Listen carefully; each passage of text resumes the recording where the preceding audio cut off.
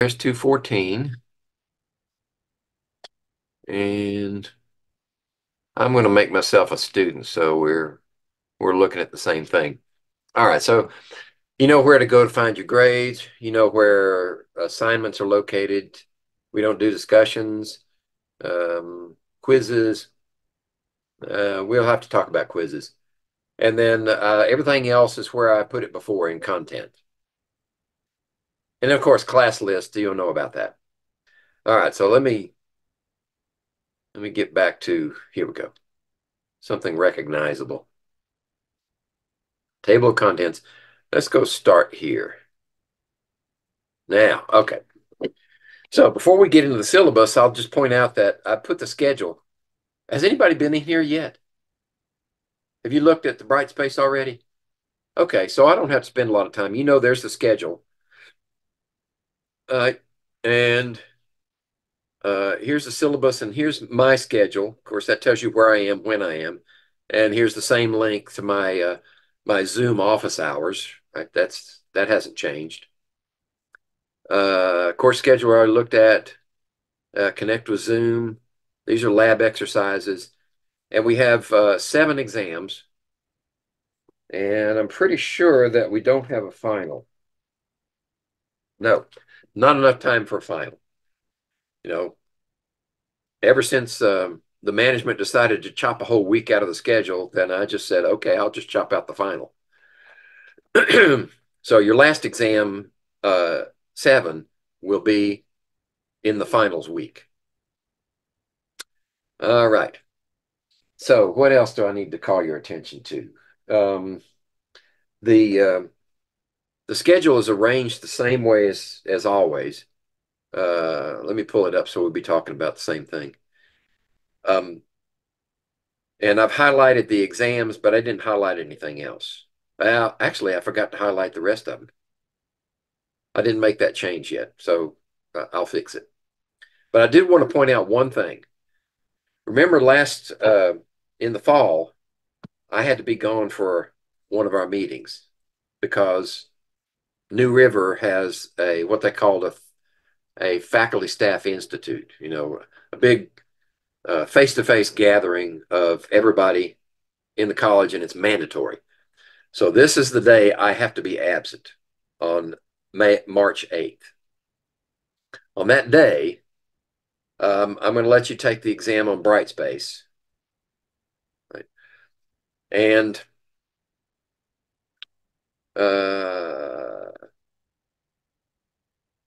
I'll come back to that in a minute. I'm not sure how how you're going to take the exam, whether it's going to be a PDF file like before, or whether I've I've managed to go far enough to get it into a um, a Brightspace exam format so that you don't have to do any paperwork. but what I also want you to do is while I'm absent, go to the videos for chapter 14 and chapter 15 and view the videos that are going to be tested, reviewed the next time we meet, and tested in exam four. So review those lectures.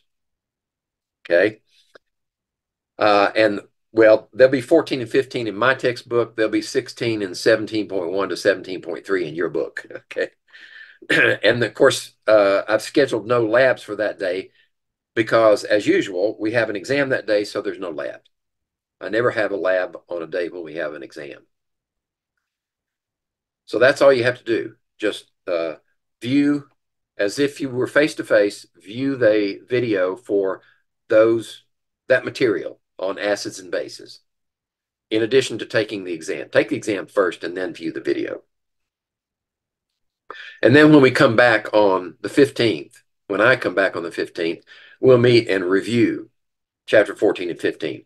Now there are there are review documents, and um, what I should do is on Friday, uh, give you all the materials you're going to need for these topics, including the review document. So I need to make a note for myself to do that so that you don't have to print anything.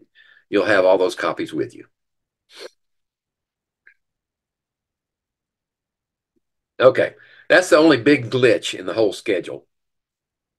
Uh, we only have five labs this this year. and they're all formal. Now we don't have any informals this time. So what you need to do is is get yourself a new lab notebook and set it up. You know how to do that. And then um, let's see.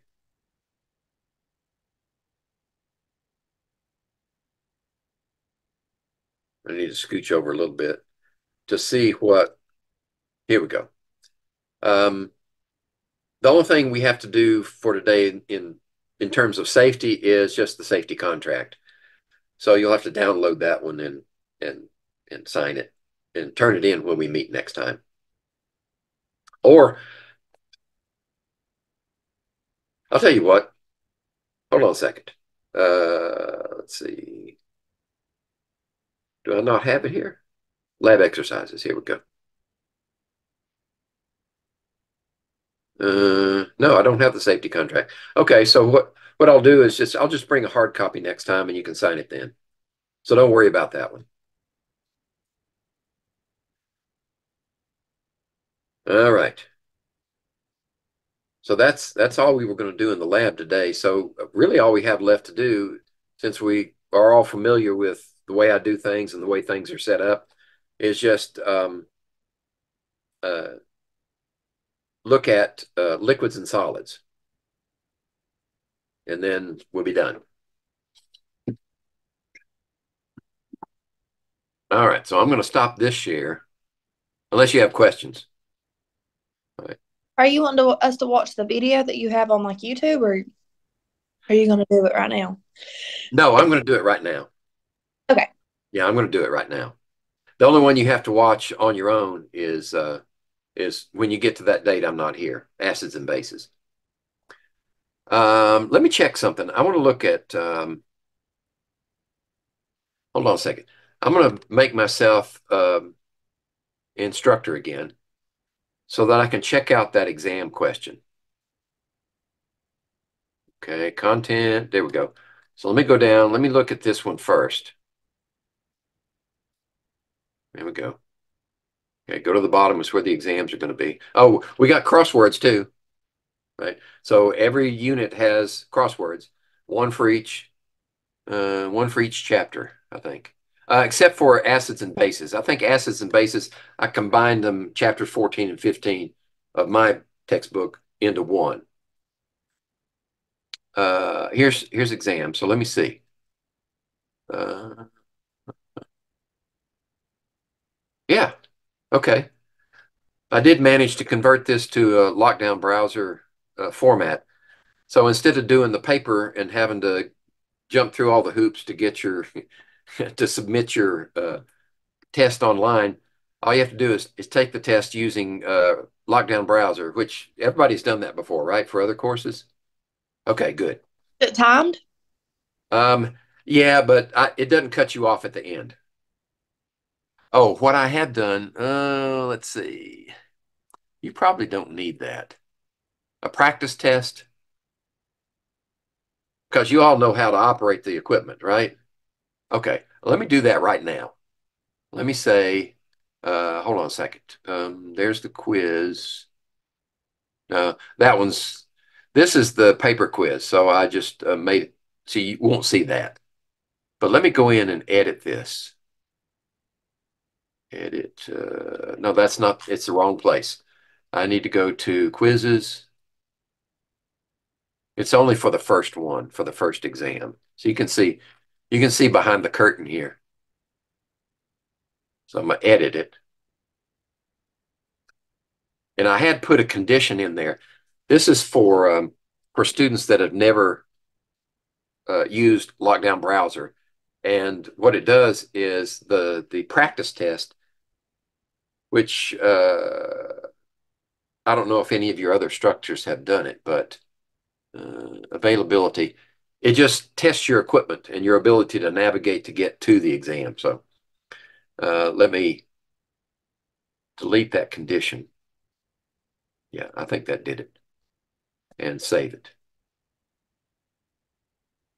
Okay. Now, let me go back to content. and check it out. Exam one. Okay, so that practice exam, you don't even need to see that. So I think what I'll do is, rather than clutter your desktop with it, I'm going to hide that one so you won't even see it. You may see the, uh, you may see this part, but you won't have anything to do. So uh, just ignore it. Now, when you get to the exam, now all you have to do is click on this and it'll take you to a page where you would, uh, you would start the exam. And if you need an update for your lockdown browser, you have an opportunity to do that there also. So while I'm at it, I'm going to look at the others. Exam two, exam two. Um, I have a question. So, are we taking the exams online? Is that why these are on there? We're not doing them on in paper, like on paper anymore in class. Well, no. Um, come to class, right? Uh, only if you are forced to take them online. This is how you will do it. But if you come to class on those days, you'll take a paper exam, and I'll grade it on the spot. Okay, that's fine. Okay. I just didn't know because you was on like exam yeah, one. I'm sorry. I'm uh, I sort of confusing there. But no, exam three is the one that you will have to take in Brightspace because I won't be there. Okay, I was just making sure. but the others, um, they're available if you uh, find yourself uh, stuck in the mud somewhere and you can't get to class and you need to take the exam online. Then we'll have this available. Okay, that's um, wondering. Okay, that one is uh, lockdown browser. Okay, good. Let me see. Three should be also. Uh, yep, there it is. Uh, I'm just going to check them all while we're here to see if they're all available if you need to take them that way. Yep, good deal. Uh, notice also that if you take them in uh, lockdown browser, you will need the the um, useful information that's normally printed at the last of every page exam, right? So I had to put it out here. And what you need to do is before you go in, if you take the exam in Lockdown Browser, you need to print a copy of the useful information first because the Lockdown Browser is going to prevent you from, from doing that. So make sure you have a copy of that before you uh, start the test, before you go into Lockdown Browser. Okay, so which one is this? Four and five. I couldn't remember if I had made the conversion for all of them. So that's why I'm checking now. Yeah, there it is. Good. Six. Six. Uh, there it is right there. Okay, good. And seven should be good. Uh, Sam, seven. Yeah. So uh, you have you don't have to take paper exams at home and submit them online like we did last semester. Now you can do it in Lockdown Browser if that becomes necessary. And like I said, every every unit has crossword puzzles as extra credit. And then these exams also have built-in bonus questions there.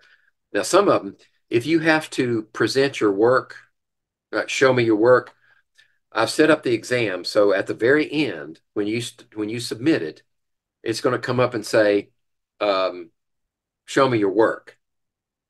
So you just take your scratch paper uh, and hopefully you'll have the number of the problem on the side so I can tell which one belongs to which, right? Uh, be kind and hold it up so you can take a picture of it. And then when I look at it in the in the Respondus monitor, it will show me that you did your work and uh, for the bonus questions, and I can give you credit for them. Okay, so uh, I don't think of anything else that is pressing. We can we can get on to the lecture now. So I'm gonna stop that share. And let's see, we got 84 slides, so we ought to be able to cover those in the time remaining and have time to spare. Slideshow. There we go. Liquids and solids. it sounds like ah, it sounds like we're going backwards. Right? right? We've already been through some some pretty uh, hair-raising chemistries already, especially when we get to kinetics, remember? Did we do kinetics already? Oh no, kinetics is coming, sorry.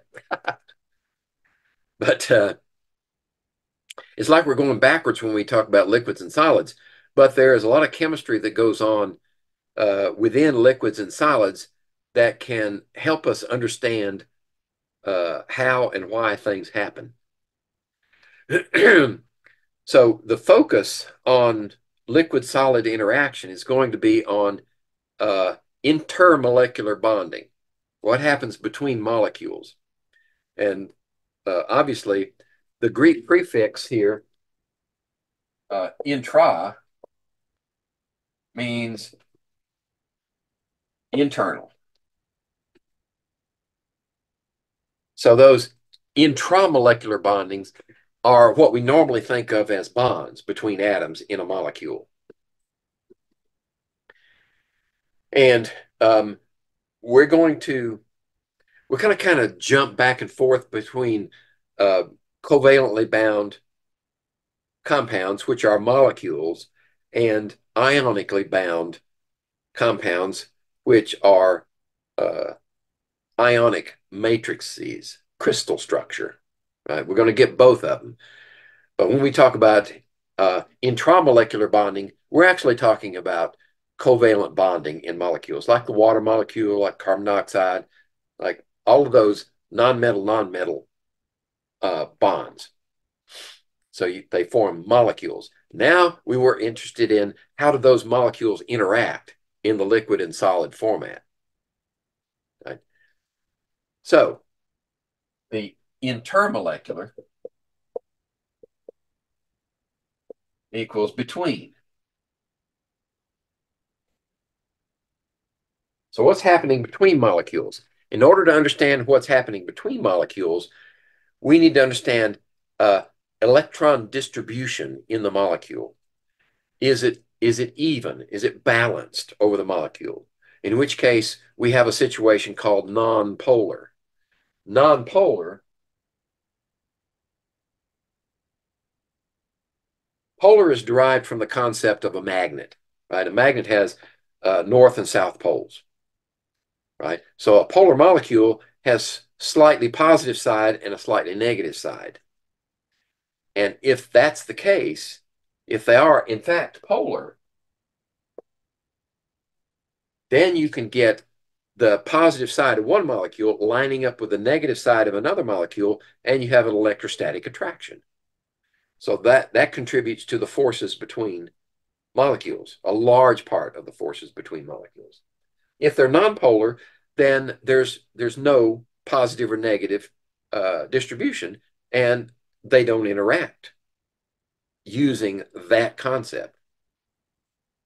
So when a molecule is polar, we say it has a dipole. Right? A dipole in a molecule, and we'll use water, for instance.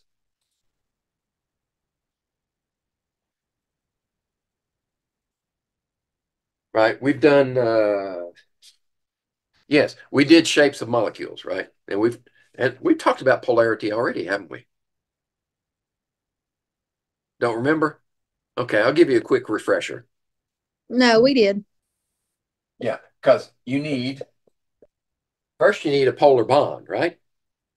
So the the dipole moment on that bond is going to be this direction and that direction.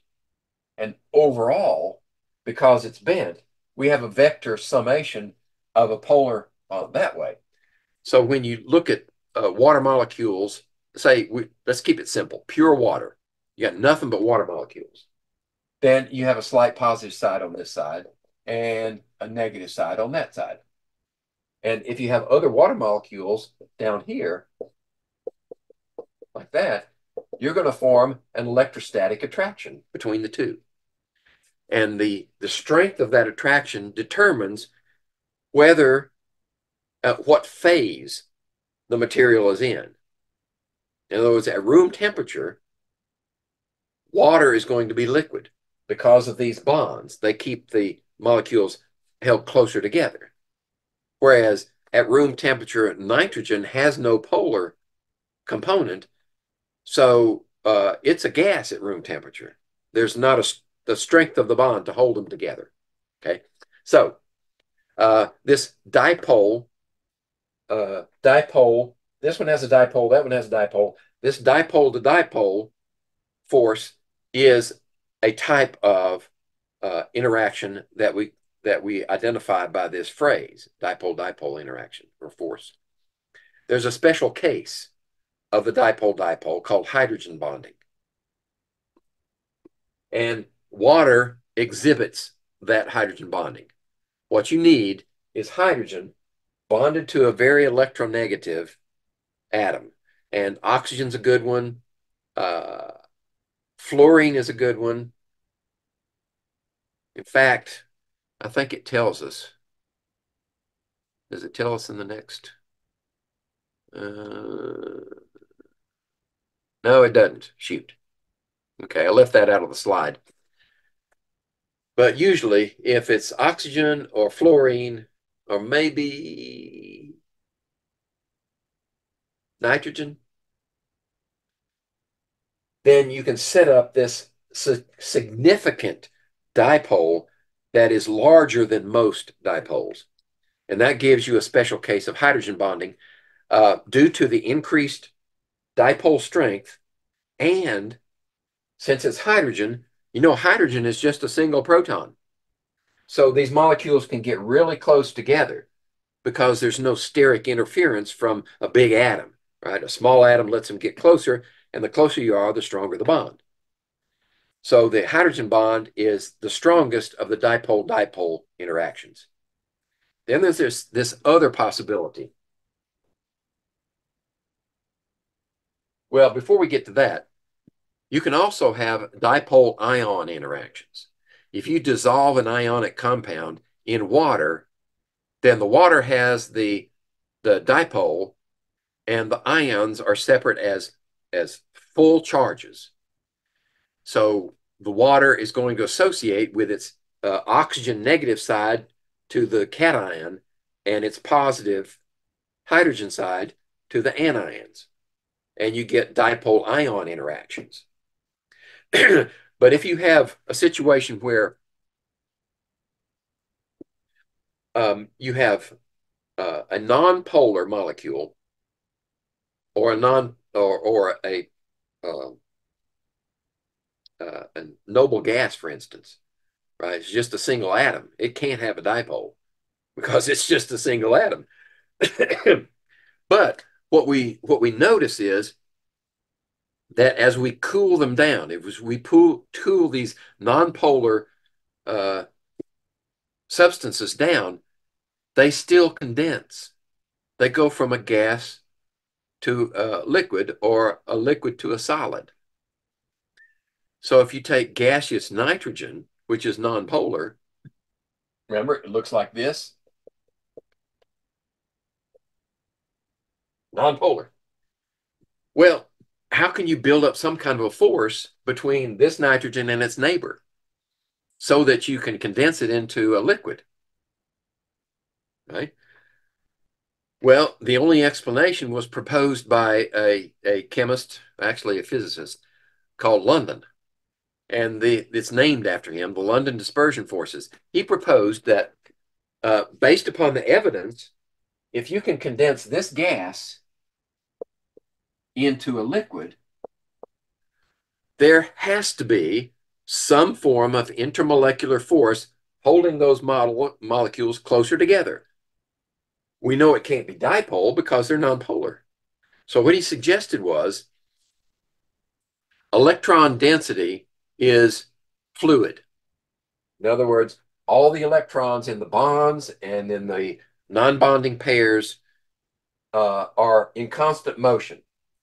And for an instant, you may get an instantaneous redistribution of electron density that causes the molecule to be negative on one end, positive on the other.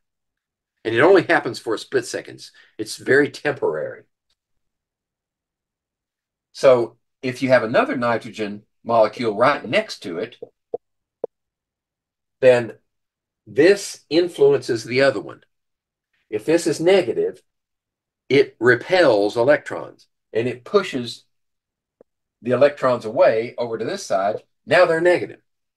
And for that split second, you have a negative positive interaction. And that is the basis of London dispersion forces.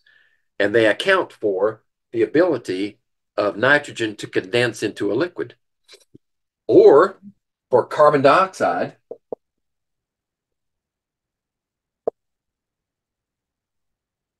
gas to condense into a liquid and go all the way down to a solid. Right? So if we're at um, uh, negative 78.5 degrees C, carbon dioxide is a solid.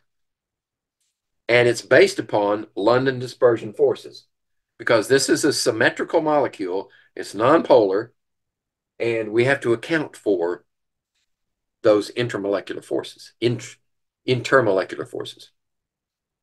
Now, here's a, a very important point. When we consider the strength of the bonds, the intramolecular or the actual uh, bonds that hold the molecule together versus the intermolecular forces that hold individual molecules together or attract them, which one's stronger? Think of this in a practical sense. If the bonds pulling the molecules together are stronger than the bonds holding the molecule together, what would happen? The molecules get ripped mm-hmm. apart. Right, yeah. yeah. You, the molecules could not survive. So that simple logic tells us that the, uh, and uh, measurements have confirmed, the forces holding molecules together must be weaker than any of the forces uh, holding the molecule together as a unit. Okay, this is an example of uh, hydrogen bonding. I'm not going to spend a lot of time here. Uh, we'll move on. All right, so this this slide uh, answers the question I just asked a minute ago, and there it is. I'm going to leave it long enough to get recorded, and you can read it, and then we'll move on. Okay. So now, when we consider phase changes, gas, liquid, solid, um, it's important to recognize that when these changes occur, uh, if you're going from a gas to a liquid or a liquid to a solid, you're actually removing energy from the system so that these forces can uh, be felt by the individual molecules. If you've got too much energy, too much kinetic energy in your molecules, then the weak forces that normally would hold them together aren't strong enough. So that's why gases tend to act as independent players. They're the the disruptive forces that we encounter with those uh, the kinetic energy are just too great, and they overcome uh, most of the uh, intermolecular forces that would uh, pull the molecules together. Then, as we remove energy and the molecules start to slow down, then some of those forces can take effect, and then we get liquids. And then we move more energy, then the forces become dominant uh, holding the molecules together.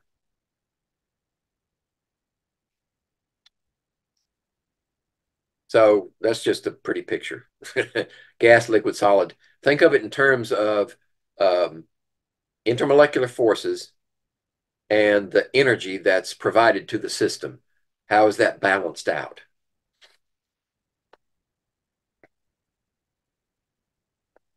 And this is in black and white, what I just told you a minute ago. So I'll leave it there long enough to get recorded and we'll move on.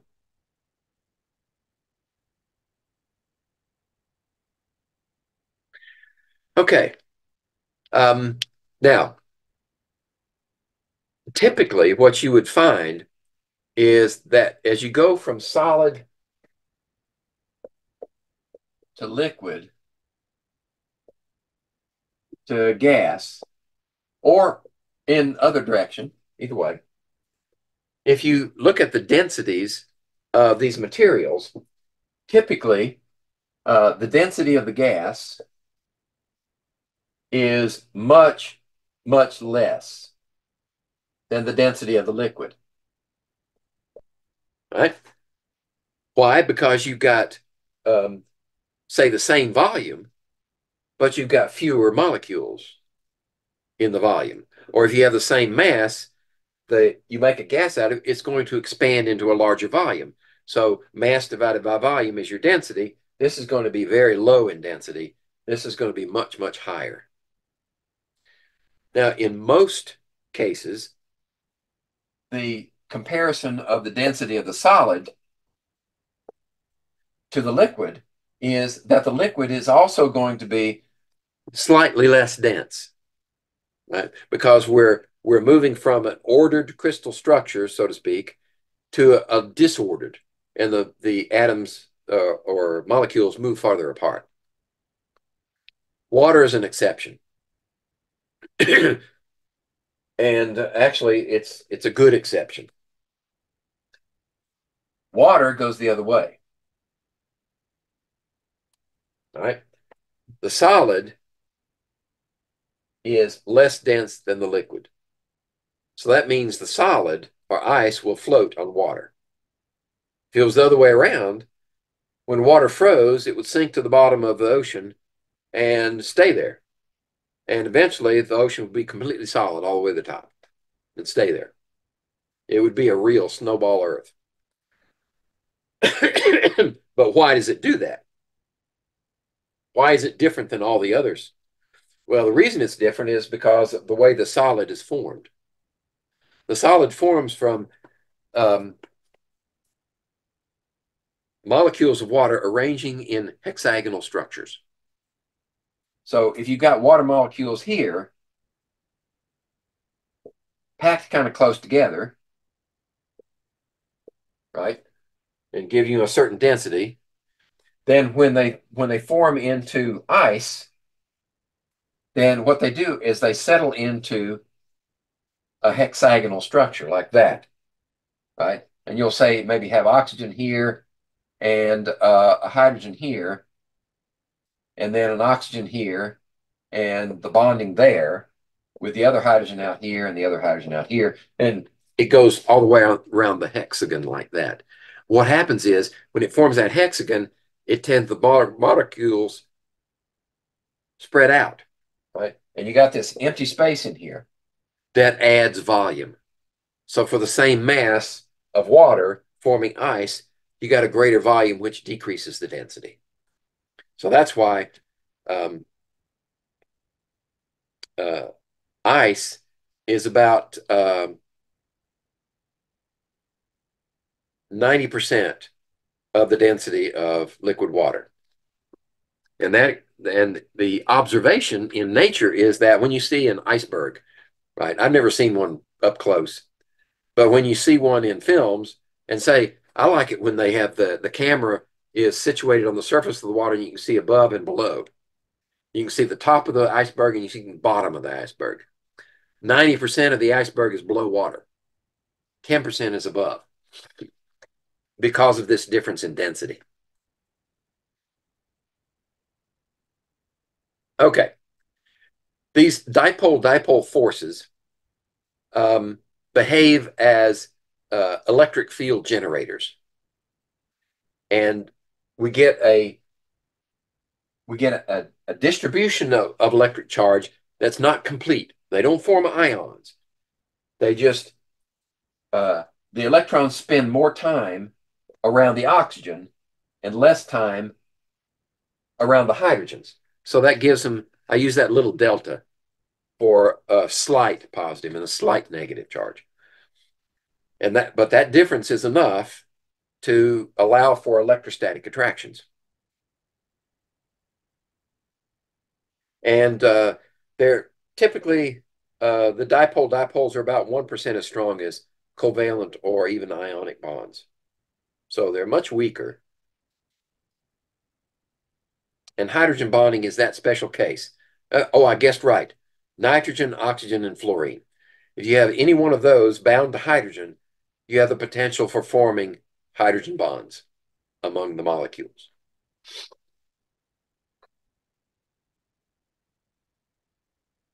London dispersion forces.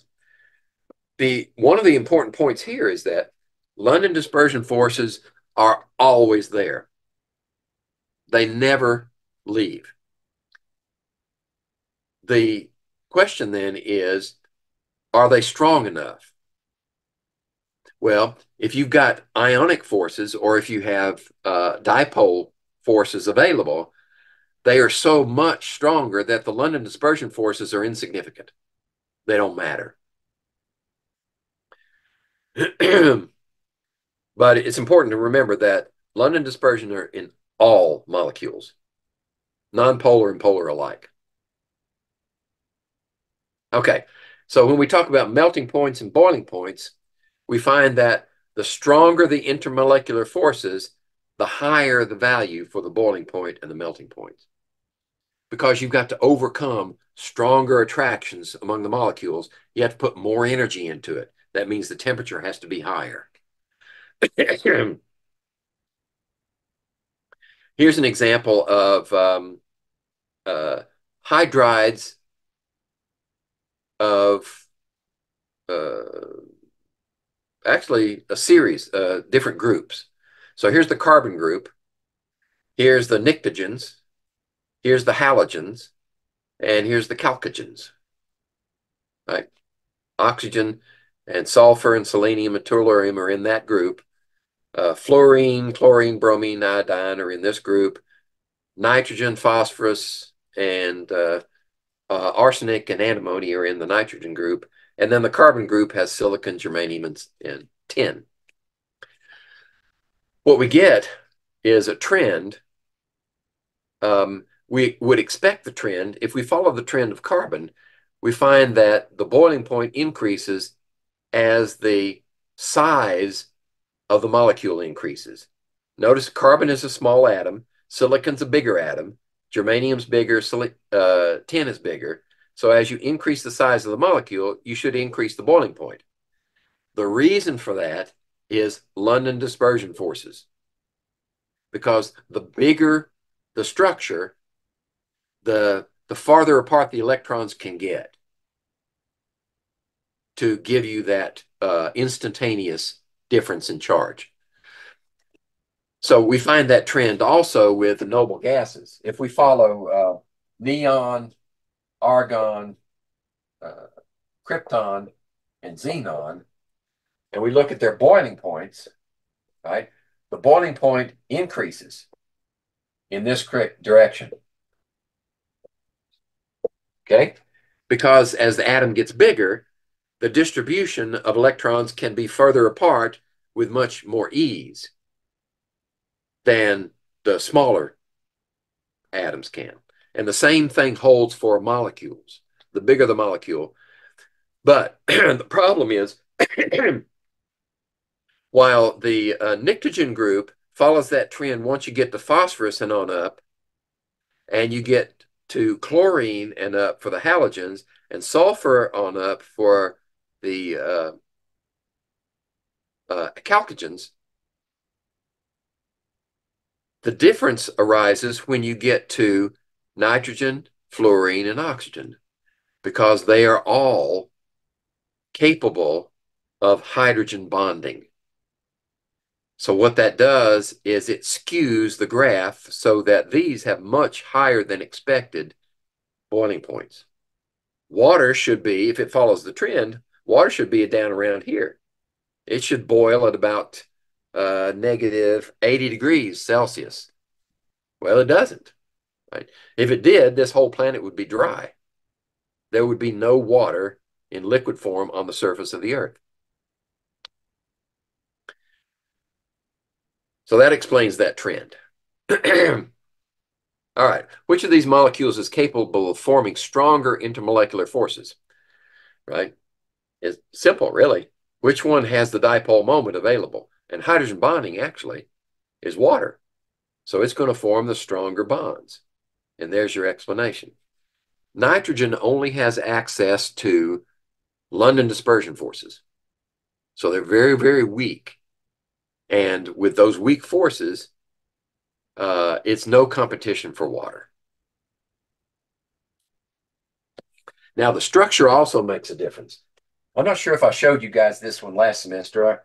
I, guess I'll have to repeat myself just to be sure I cover all the bases. But if we have this uh, C2H6O is the molecular formula for the compound, right? But the structure makes a difference. If we have C2H6O and it's actually this molecule, CH3, CH2, OH, ethanol, then that puts this oxygen and hydrogen out here where we can get hydrogen bonding available. But if we write the molecule a different way, where we have, let's see, yeah, CH3 with an O in the middle and CH3 on the end, we have a nonpolar molecule. There's no no chance for uh, dipole or um, the, well, the only possibility here is London dispersion forces, whereas here it's hydrogen bonding. So with that formula and different structures, you get different boiling points. This has the higher boiling point. This is this is uh, dimethyl ether, right? It has a very low boiling point, whereas um, ethanol has a higher boiling point. It's like uh, in the 70s, 75 or thereabouts degrees Celsius. Okay. When we ask this question, which gas would behave more ideally at the same conditions of pressure and temperature? Think back to ideal behavior. What does a gas have to be to be ideal? Remember what we said about uh, when we were looking at the kinetic molecular theory. When gases impact one another, what can they not do? They cannot repel or attract, right? They act like billiard balls, right? That's ideal behavior. Well, if they're not going to attract or repel, that means nonpolar molecules would be closer to ideal behavior than polar molecules. Carbon monoxide looks like this. Right? It has a dipole moment like that. So it is slightly polar. And it's less ideal because when these molecules come into contact with one another, they're going to attract. It may not be much and it may not be for very long, but it will be, it will exceed uh, the behavior that we would expect for an ideal gas. So nitrogen is the more ideal gas. And I'll leave that there for you to read it.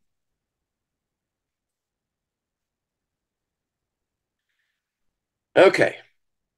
Carrying on. Okay, how about liquids? Well, when we look at liquid behavior, the, the physical behavior of liquids, we find that unlike gases, which are very compressible, liquids are reasonably uh, incompressible. They have very low compressibility.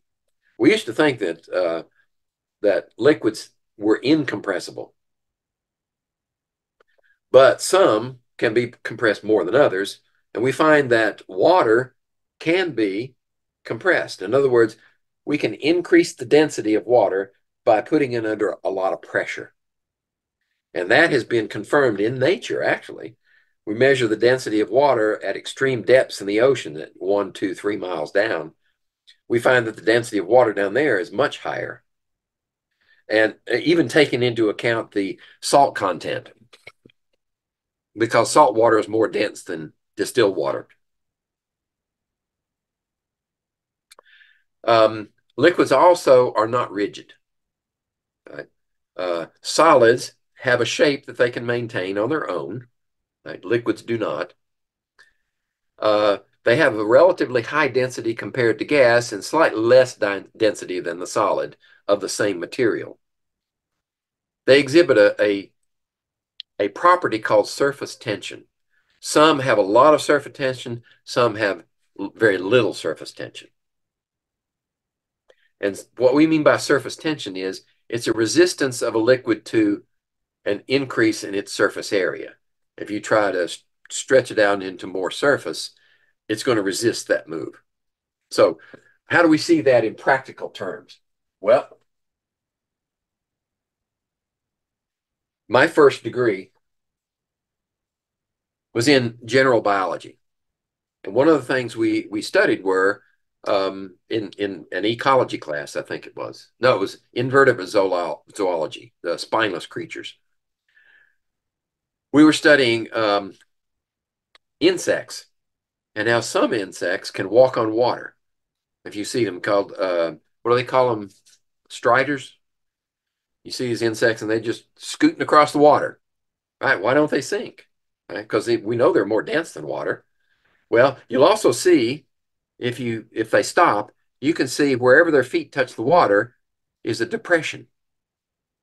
So with their foot, if the water is normally here and their foot lands in the water and it depresses the water like that, what's happening is we're trying to increase the surface area right here, trying to increase the surface area of the water and it's resisting. And the insect uses that resistance, that force of resistance to hold itself up. So that's why you see their feet spread way apart. Because if you put them too close together, that's too much force for the available surface tension. So they spread them way out. Liquids that have large intermolecular forces tend to have high surface tensions. When you look at it this way, uh, the water molecules here, let's let's stick to water. Water molecules here, here, here, and here. You've got water mo molecules underneath and distributed all over. when they interact with one another, these guys interact in every direction, right? But these guys can only interact that way, that way, and that way. So they have to redistribute their forces uh, in a, a smaller volume of direction. That means that their forces overall at the surface are going to be stronger for a given area. That's the origin of surface tension. Surface tension is also the thing that that makes uh, bubbles when you blow bubbles makes bubbles round because uh, a sphere is the, the very minimum surface area that a substance can occupy right? If it if it went into an ellipse or if it went into some other shape, it'd be too much. So it minimizes the surface area because of that tension. Another characteristic of liquids is called capillary action. And this is kind of a an offshoot of surface tension. Because in a narrow tube, you know that if you uh, insert a narrow tube into water, the water will rise up a certain distance and then stop. So what's happening is, if we blow it up, uh, we got the surface of water here, and if we start here, then what happens is there's a attraction between the water molecules and the surface of the the glass, say, we're using glass. So what it does, it tends to pull the water up. And it's only where there's close association with the glass and the water that it pulls up. Well, it doesn't pull up here very well because there's surface tension pulling in the opposite direction.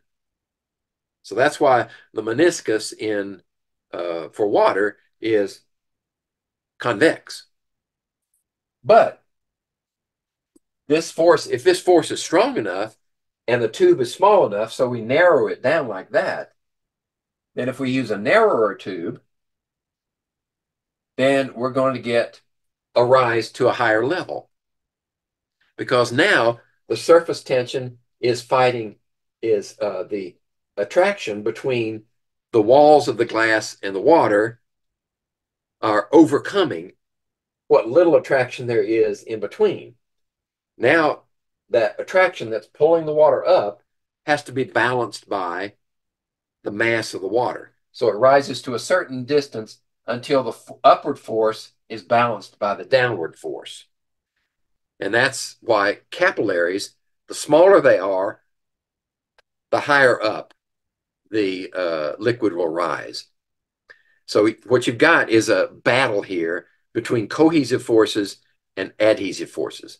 The adhesive forces are between the liquid and the walls of the capillary, and the cohesive forces are the forces that the intermolecular forces that attract the molecules together.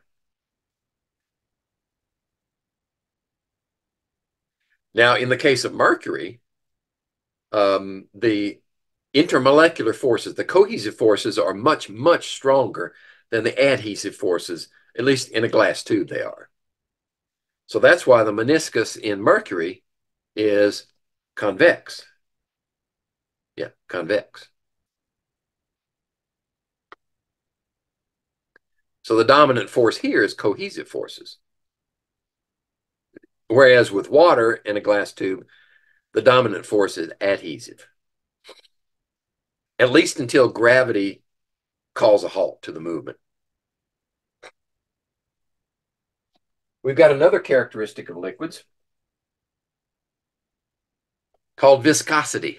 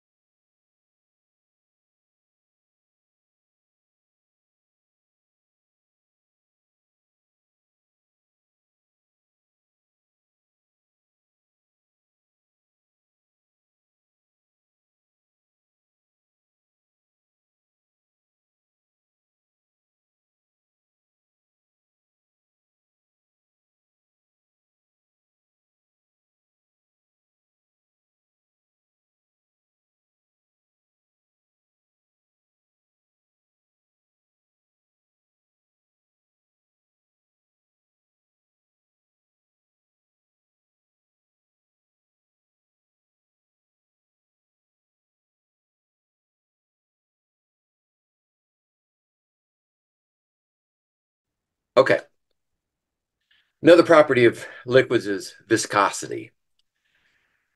What that measures, viscosity, uh, can be expressed and measured in different ways, right? Depending on the liquid that you're you're uh, investigating, but it's still a, an expression, a numerical expression of the resistance of that liquid to flow. So we know uh, water flows very readily at room temperature. Honey slows a lot flow a lot less fast. Uh, ketchup flows eh, okay at room temperature, but when you pull it out of the freezer, you'll notice it's a little thicker uh, out of the refrigerator. If you put honey in the refrigerator, uh, you can pull it, you can unscrew the cap and turn it upside down, and it'll just sit there. It's lost nearly all of its viscosity. All right. So uh, there are various ways to measure viscosity. Um, you can use a penetrometer, like you can have your liquid here, and you can uh, drop a pointed object at it, and how deep it goes uh, is a measure of viscosity. You can allow the liquid to drain through a, uh, a hole of a definite size pore, how long does it take for uh, a certain volume to, to drain through that hole?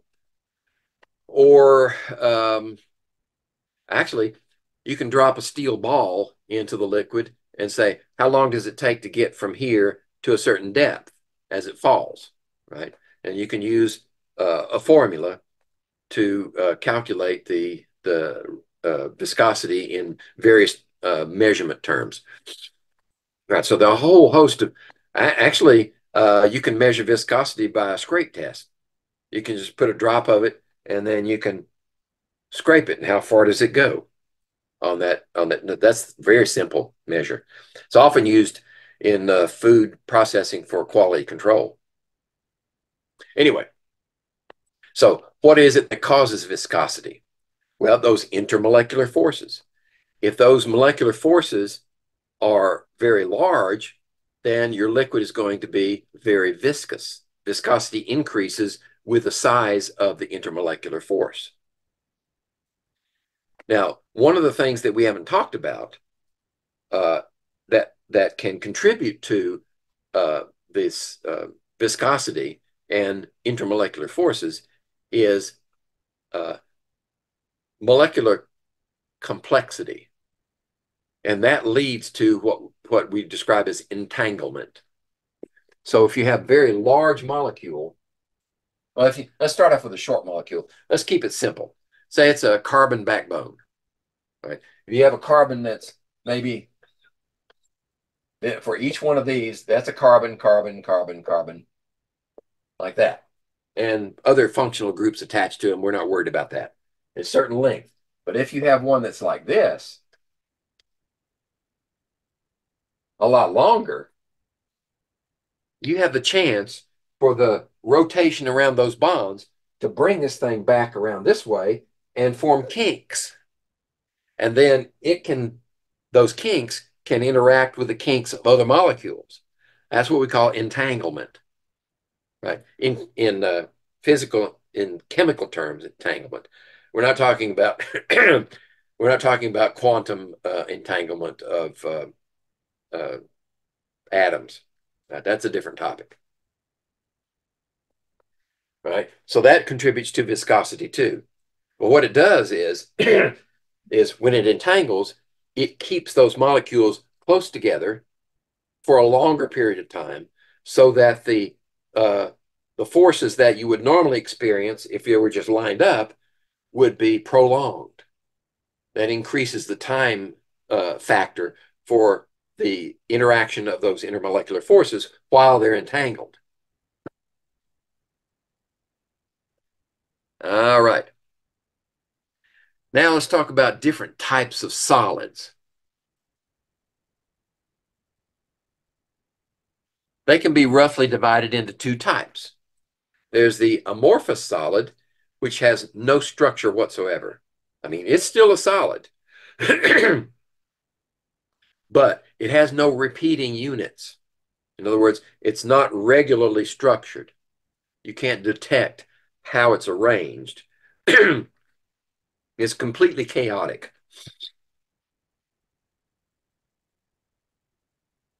An example of that is glass. Glass is an amorphous solid. We form it from a liquid, it solidifies, and uh, most glass, I should say, is amorphous solid. There are some glasses, specialty glasses, that are fit into the next category, the crystalline solid, but they're they're very special. The crystalline solids that are easy to identify, uh, lots of are minerals, right? Like quartz. Right? We could consider quartz a type of glass because quartz is composed of silicon dioxide. Excuse me. running out of liquid. Amorphous solids, right? In fact, some schools of thought consider glass a uh, a supercooled liquid. Eh. I guess you would have to be extreme conditions to to make it flow like a liquid would. Anyway, there are amorphous solids with no crystal structure, and then there are crystalline solids with those uh, ordered structures, and they can be subdivided into a base unit that is repeated over and over and over again. We call that the unit cell.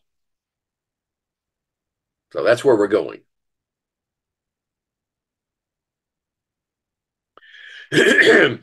By definition, the unit cell is the smallest three-dimensional repeating unit in a crystal. Right? If you know the structure of the unit cell, you can describe the whole crystal based upon that unit. That's one way of describing a crystalline solid. Right? There is another way, and they're like two sides of the same coin, and they, they complement one another. But we're going to start off looking at the unit cell. The other is called the closest packing model.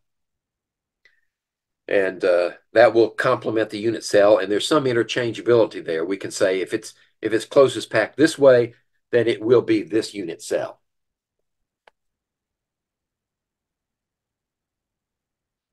All right. First off, we're going to look at uh, unit cells. And what we have here is three different representations of the same unit cell, depending on whether it's reality. This is the space filling model here, here, and here, right? This is more likely what you would see uh, if you could get down small enough to see the atoms arranged in this uh, unit cell. Or we could say this is a lattice model where we shrink the size of the spheres so that we can actually see their their relative position to one another in a three-dimensional array. And this is large scale. And then we go down, we take one of these cells and pull it out and, and position it there. This is the unit cell for um, the uh, simple cubic arrangement. The simple cubic arrangement simply puts, right, Remember how to draw a cube from grade school? Right, there's a cube. The simple cubic arrangement puts an atom there, there, there, there on the top, and then there, there, there, and there on the bottom. Now, it's not too common, but it does occur. And one example is polonium metal. Polonium is, let me see if I can find it on the periodic table I'm looking at here. I think polonium is a nasty one. Yeah, polonium is a chalcogen. It's in the oxygen group. But it's unstable. So if you get uh, contaminated with polonium, if you especially if you take it internally, it's going to cause some damage. In fact, there have been several instances of um, dissident Russians who got who uh, escaped communist Russia when it was a, a, a, USSR, and they turned up dead. Right, and they found after a, uh, autopsy that they had been poisoned with polonium. Uh, apparently, is that's one of the favorite KGB poisons. Anyway, that's a simple cubic lattice, uh, cubic cell, unit cell. Then we can have a what's called a body-centered cubic. So a body-centered cubic simply has all six points occupied by an atom. We're keeping this really simple now. We're, we're talking about uh, uh, metals, okay? So we have an atom here, here, all the way around. We have eight of them, right? Eight in that cubic cell. And then we have one in the middle, right in the middle of the cell. That's body-centered cubic. Okay? Let me do this. Let's draw another cube here.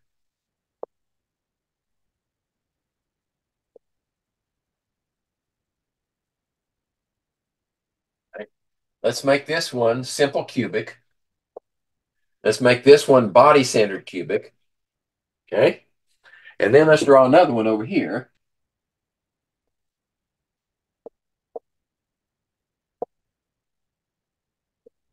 And let's make this one the next one, face-centered cubic. Right? So now we have all of these corners occupied. Plus we have one on the face, there, there, there, there, there, there. So how many faces does a cube have? It has six, right? Six faces, right? If you roll a dice, you can either get a one, two, three, four, five, or six. Okay. So those are the most common. They're not the only unit cells, but they're the most common. Uh, uranium is a body-centered cubic, and gold is a face-centered cubic. All right. Okay. Uh, oh, I have a video. Good. If you could travel within a crystalline solid, you would see the particles, atoms, ions, or molecules arranged in a regular array. Here, the spaces are greatly exaggerated, but in reality, the particles are packed close together. The unit cell of a crystal structure is the smallest portion that defines the structure. Stacking unit cells next to each other in all three directions gives the structure. Many elements and simple compounds have unit cells from the cubic crystal system. Let's examine the three types of cubic unit cells. All cubic unit cells have particles at the corners of a cube. The simple or primitive cubic unit cell has particles at the corners only. In reality, the particles lie as close to each other as possible. Note that the particles touch along the cube edges but not along a diagonal in the face or along a diagonal through the body. By slicing away parts that belong to neighboring unit cells, we see that the actual unit cell consists of portions of the particles. When the cells pack next to each other in all three dimensions, we obtain the crystal.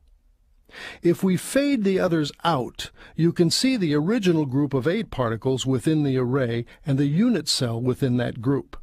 We find the number of particles in one unit cell by combining all the particles portions.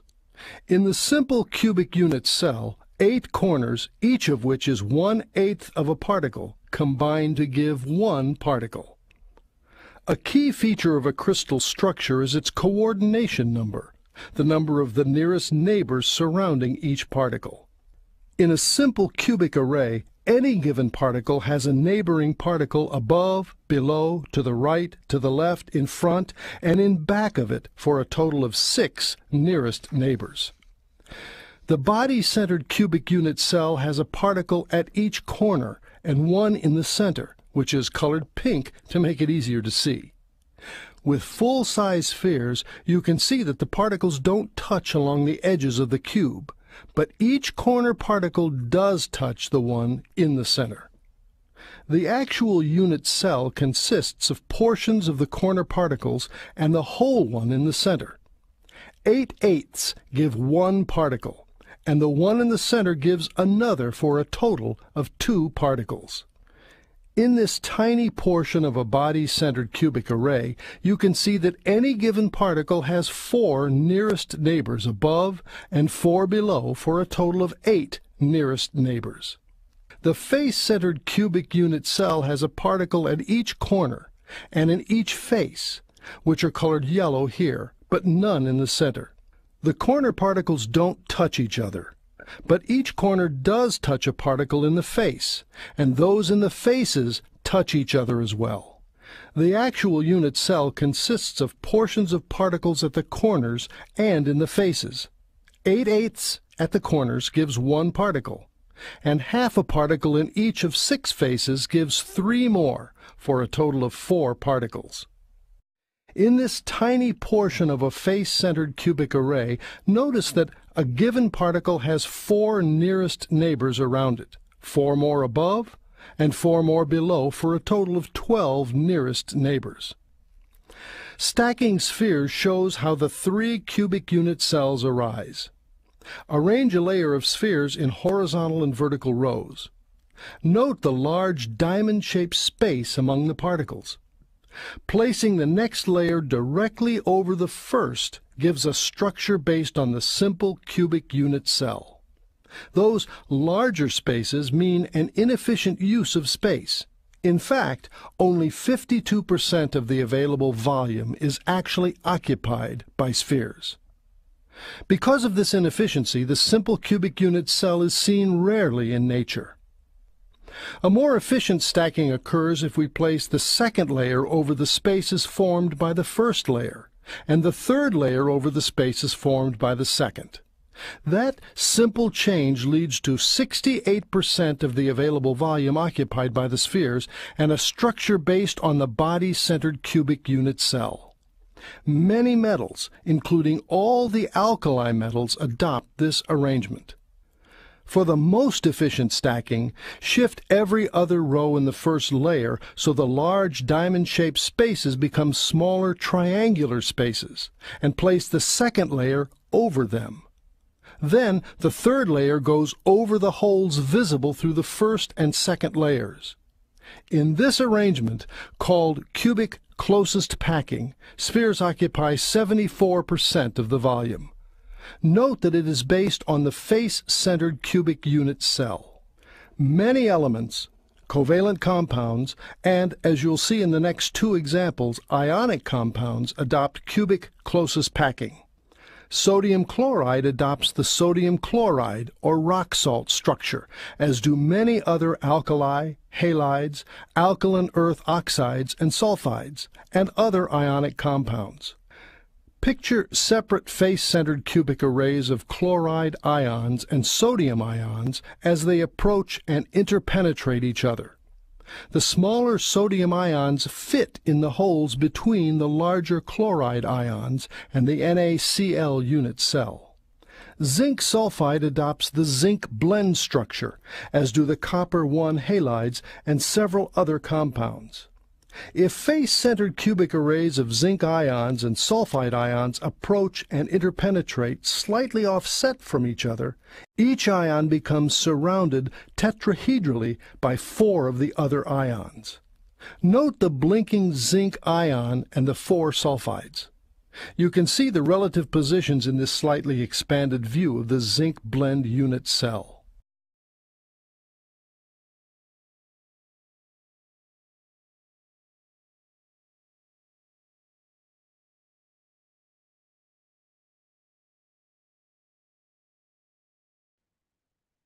Okay. so there was uh, some mention of overlap between the unit cell and the, the uh, closest packing models.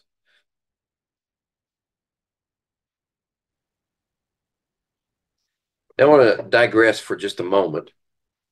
Um, oh, I will point out, I think I have slides on this already, but um, the video made it very plain that the simple cubic cell uh, accounts for only one atom per unit, whereas the body centered accounts for two atoms per unit, and the face centered accounts for four atoms per unit.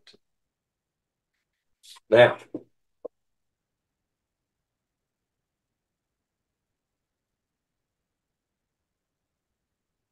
there was a man and his son. They were both both scientists, and they were working with crystals, and uh, they figured out a way to measure the spacing in a regular crystal structure. They figured out a way to measure the spacing between layers. And uh, uh, the result of their work was the Bragg equation. And this is, uh, that's a lambda, and that's a theta, which uh, is a uh, number of degrees, right? It's an angle degrees. lambda is a wavelength. And um, n is just an integer, right? And I'll tell you what, what it stands for later. Uh, but what we're after is this d, the distance between the atoms. What they surmised was that when you have a layer of, of atoms,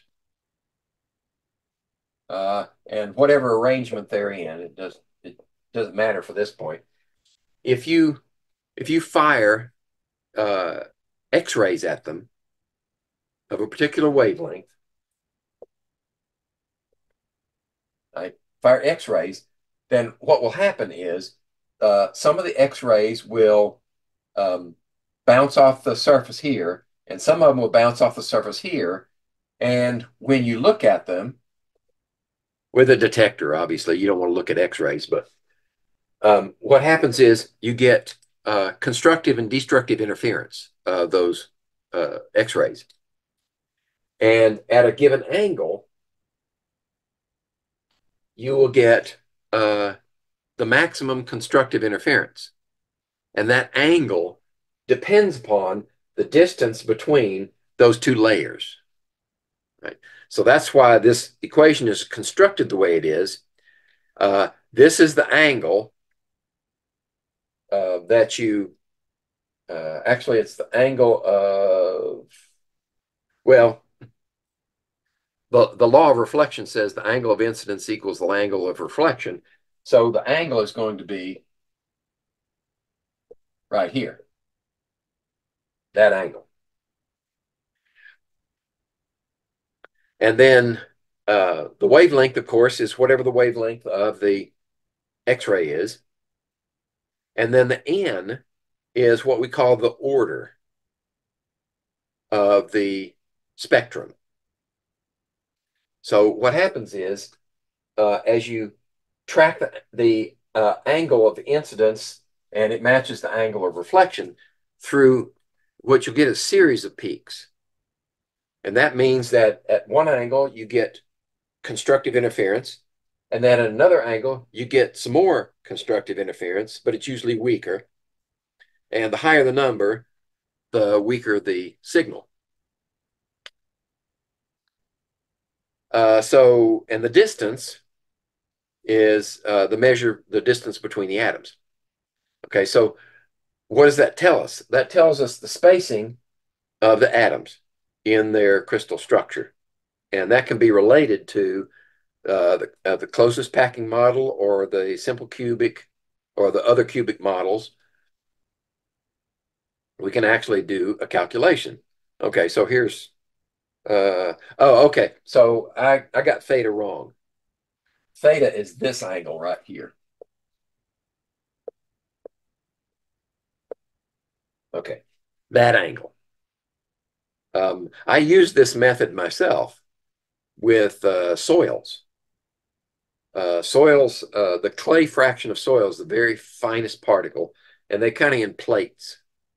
So once you isolate the clay from a, a, a sample of soil, um, you suspend it in water, and then you put a drop on a slide, and as it as the the plates settle, they lay flat against each other, right? And then they they dry, and once they're dry, you put them in the machine, and you fire X-rays at them and measure their uh, the peaks.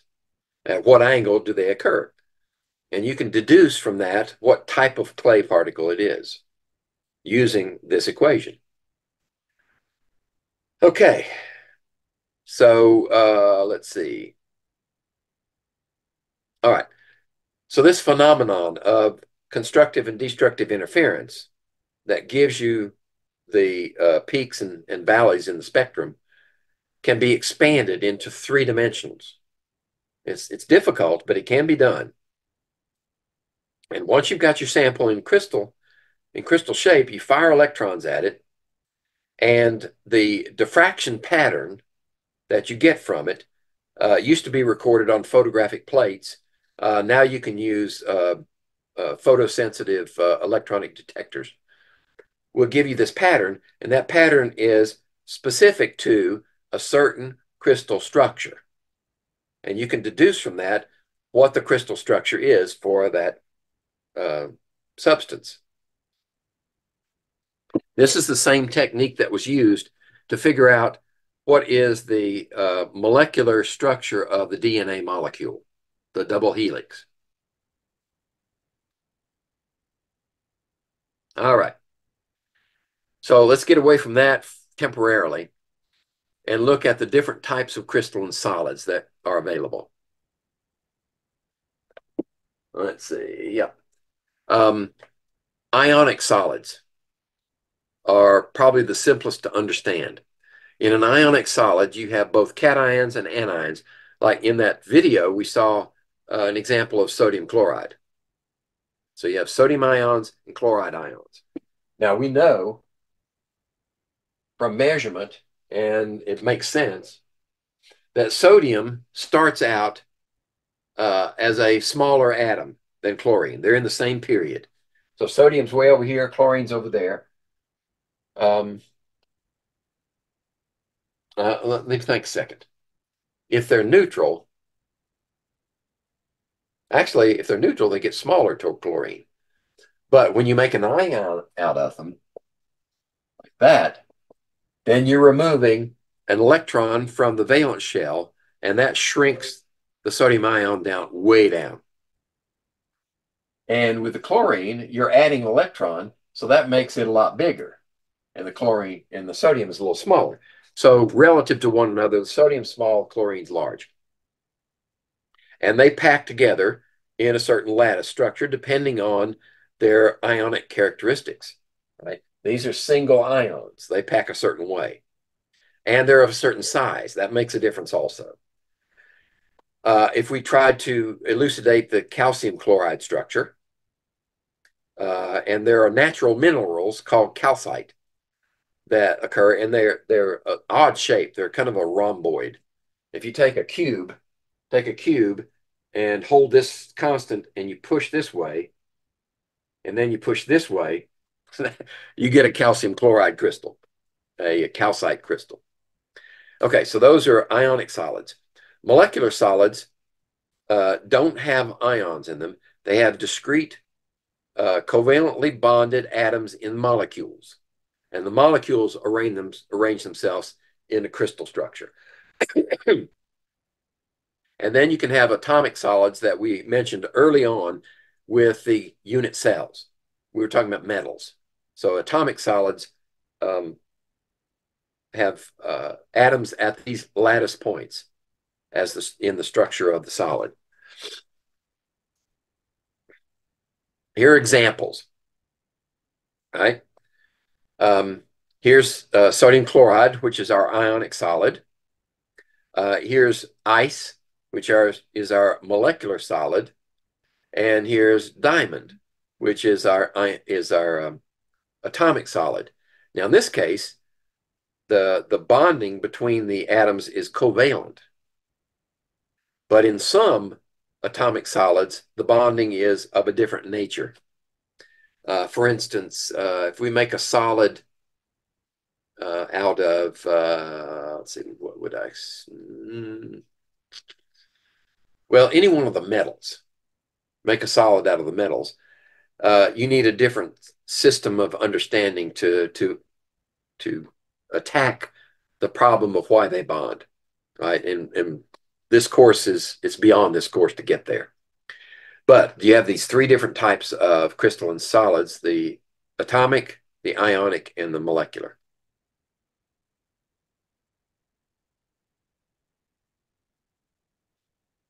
And in the uh, atomic solid, they're saying these this is covalent. Well, yeah, it's covalent if the uh, atoms are nonmetals. If they're metals, then we get a different type of bond. What we haven't talked here is called the metallic bond. All right. So we've put this little chart together. This is this comes straight out of my textbook, and your textbook should have something similar to it.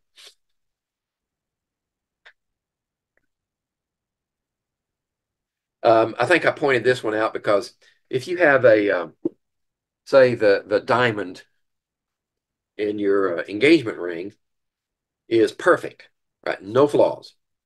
you're essentially looking at a single molecule. That whole diamond is one molecule because all the atoms are bound together covalently into a single unit. Uh, other types of atomic solids, right? I mentioned the metals. We have a, they call it a delocalized covalent bond. I'm not going to argue with it. Um, I've heard it referred to as a metallic bond, but that's okay. And then, of course, if you have the eight, the group eight, which is uh, noble gases, if they form a solid, then they're held together, together by London dispersion forces only. That's the only possibility. Uh, molecular solids are held together by uh, either London dispersion or dipole-dipole moments. And ionic sources, of course, are uh, the uh, Coulombic forces that, that hold positive and negative charges together. Okay, now we're going to talk a little bit about this other model, the closest packing model. And we're going to start off using metal atoms because that's the simplest approach.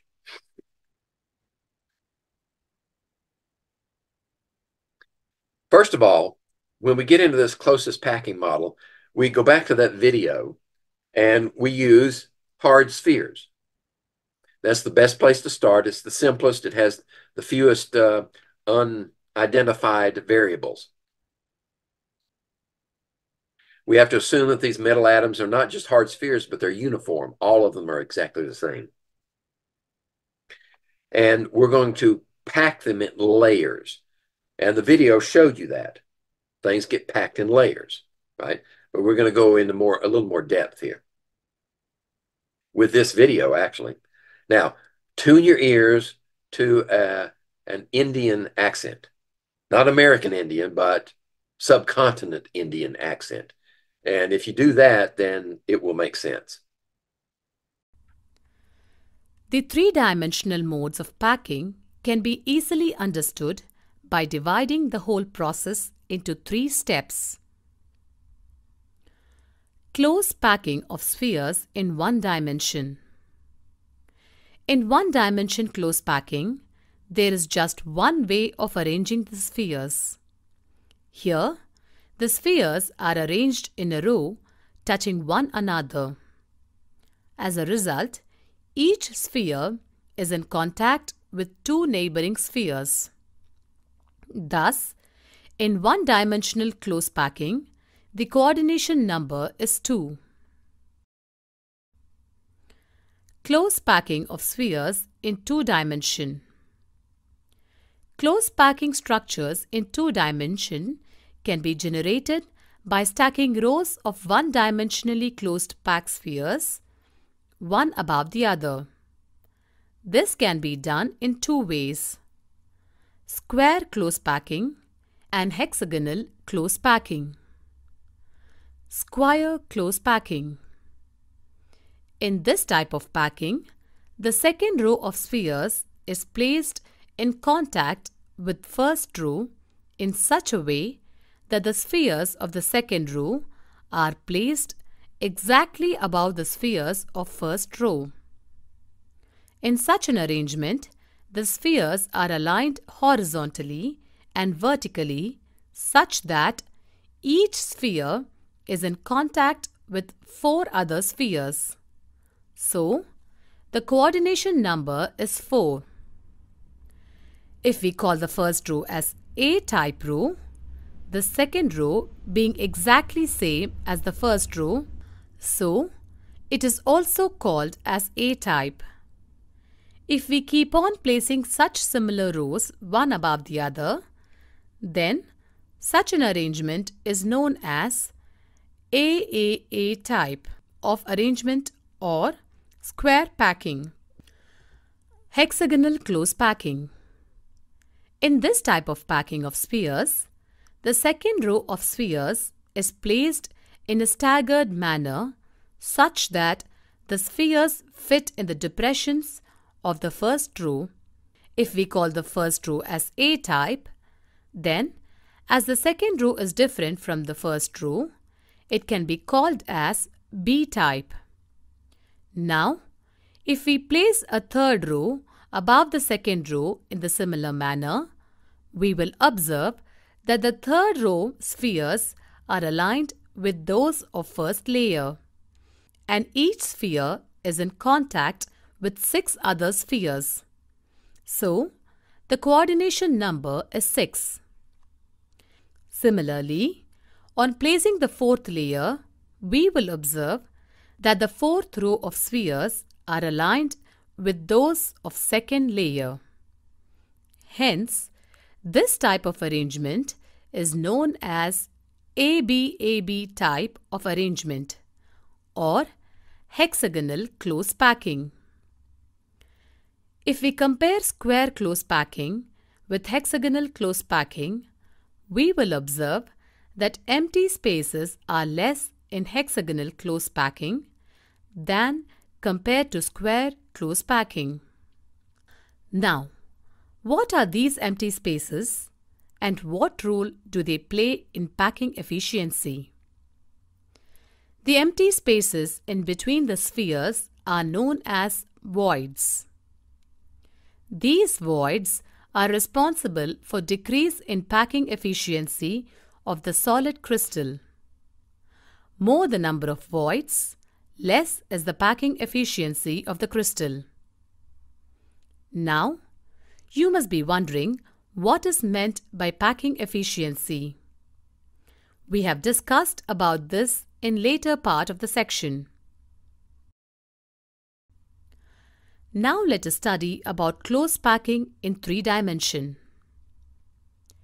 Three-dimensional close packing from two-dimensional square close packed layers. This type of packing is obtained by placing two-dimensional square closed packed layer above the first one, such that the spheres of the second layer are exactly above the spheres of the first layer.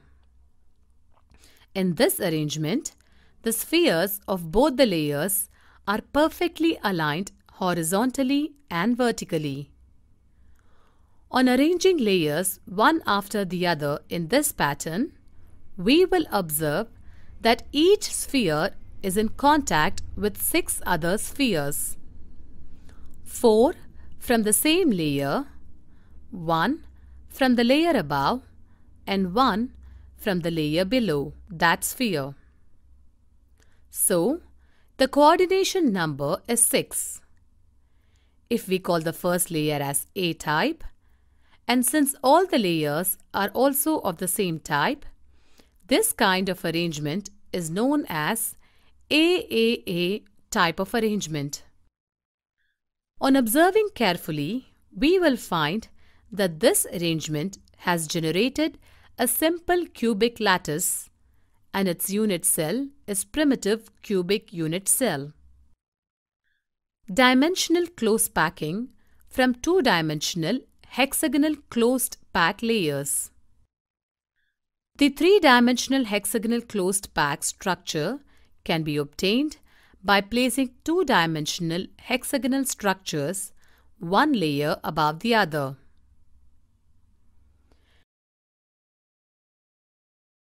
Placing second layer over the first layer. Let us take a two-dimensional hexagonal closed packed layer A. Notice this layer has triangular voids. Place a similar closed packed layer in such a way that the spheres of the second layer are placed in depressions of the first layer.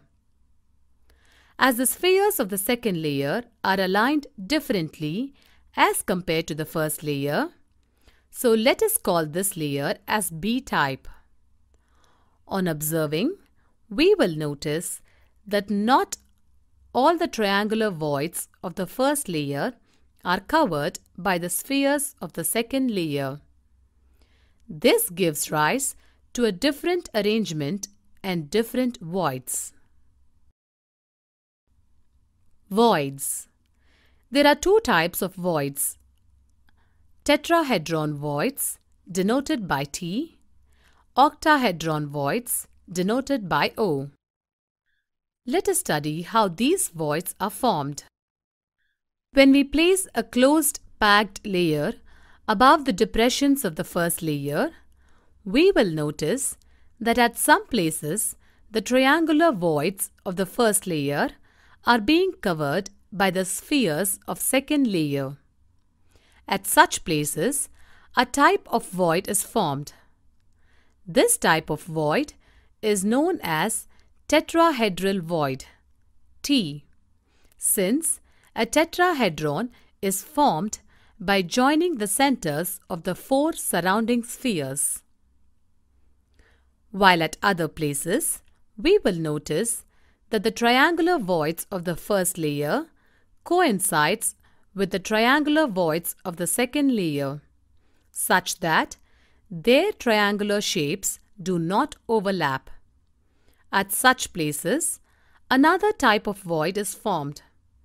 This type of void is known as octahedral void O, since an octahedron is formed by joining the centers of the six surrounding spheres.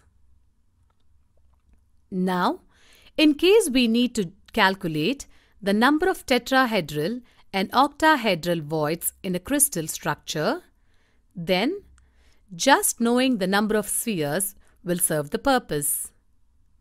Suppose there are n spheres in the crystal structure, then the number of octahedral voids generated is equal to n. The number of tetrahedral voids generated is equal to 2n. Placing third layer over second layer. Now let us place third layer over second layer. Stacking of third layer over second layer can be done in two ways. First, by covering tetrahedral voids. Second, by covering octahedral voids. By covering tetrahedral voids. The tetrahedral voids of the second layer can be covered by placing the spheres of the third layer over them. On doing so, the spheres of the third layer will get exactly aligned with the spheres of the first layer. So, if we can call the first layer as A-type and the second layer as B-type, then the third layer will also be A-type.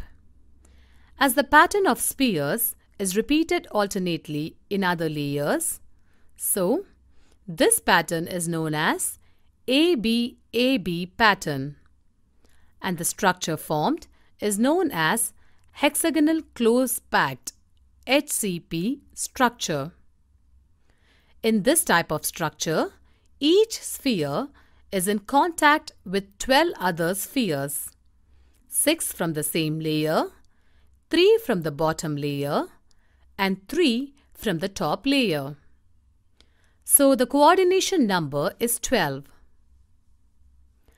Covering octahedral voids. The octahedral voids of the second layer can be covered by placing the spheres of the third layer over them. On doing so, the spheres of the third layer are not aligned with the spheres of either first layer or second layer. So, if we call the first layer as A-type and the second layer as B-type, then this third layer will be C-type. Now, if we place the fourth layer over the octahedral voids of the third layer, then the sphere gets aligned with the spheres of the first layer. Thus, this pattern is known as ABC ABC type and the structure formed is known as cubic close-packed CCP or face-centered cubic FCC structure. In this type of structure, each sphere is in contact with 12 other spheres. 6 from the same layer, 3 from the bottom layer and 3 from the top layer. So, the coordination number is 12. All right. That was a long video, wasn't it? Uh, 12 minutes. I think it was a pretty good description of um, the types of crystal arrangements, the structures that can be observed, and drew some comparisons between um, the uh, unit cell model and the closest packing model. Um, I saw one of them in there that looked like it was, well, they did call attention to the, the simple cubic uh, relationship to a, a closest packing. Okay. So what we see is this uh, AB-AB type where the the third layer is positioned over the tetrahedral voids. Gives us this, uh, let's see, gives us the hexagonal closest packing. Uh, there was also mention of uh, uh, coordination numbers, and don't get too bogged down with that. Since the coordination number is simply an expression of how many other spheres are touching uh, one sphere that you identify. You identify one sphere, how many are touching it? That's all that means. Now, I'm sure there's a way uh, people who work in this area all the time uh, to associate those coordination numbers with various structures, but um, uh, it varies depending on your discipline, actually, what you can do with it.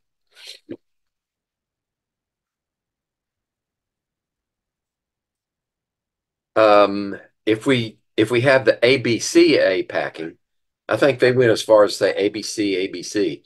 ABCA will get you there. Um, the result is this uh, cubic closest packing or face-centered cubic. Uh, pardon me. I gotta shut up a dog.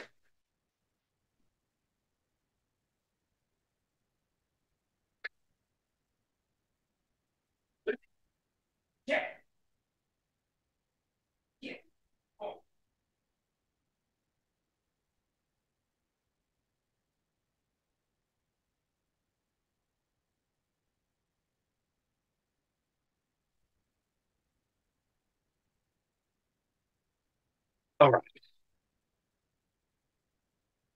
So this one draws a direct comparison between uh, this type of closest packing, the uh, cubic closest packing with the ABCA and face-centered cubic. So if we cut this into a unit cell, we'll find that it produces the face-centered cubic uh, product as the as the unit cell. Um, let's see, hexagonal closest packing. You know what? This bothered me the last time I did this. The coordinate coordination number here is 12 for both the hexagonal and the uh, the cubic closest packing. And the previous one was hexagonal closest packing versus the cubic closest packing. And the, the coordination number for both of them is 12. So what do we get with an ABA? With an ABA, they're saying we get a face-centered cubic unit cell. Okay. If we go to ABCA, then we also get a face-centered cubic. So I'm not sure where the simple cubic, where I can, where I can say the simple cubic is. Uh, yeah.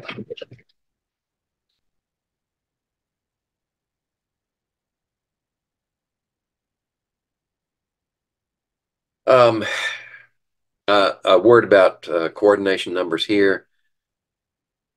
I thought we had a simple cubic arrangement that could be, no.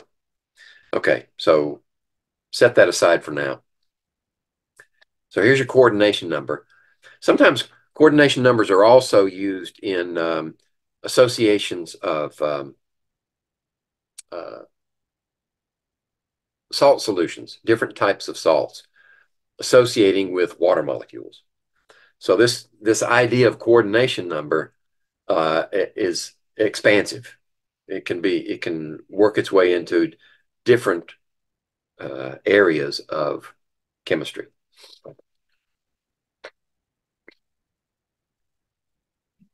So here we've already covered this topic. The the number of spheres in a face-centered cubic unit. we already determined that to be four, four total. And the let's see, I erased it.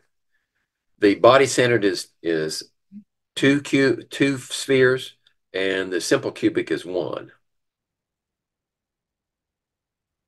Right, there's simple cubic, there's face-centered cubic. Uh, A is, there's only one atom if you combine all those parts, and the face-centered is two. Uh, excuse me, this is, face-centered is four, body-centered is missing. Yeah, they dump the body-centered. Body-centered is two atoms per uh, unit cell. Okay, so here's a here's a problem. Say we identify a metal that crystallizes in a simple cubic structure. It's rare, but for this example, we're, we're saying we have one. What's the relationship between the radius of the metal atom and the length of the edge on the side of the unit cell? Now, why would we want to know that?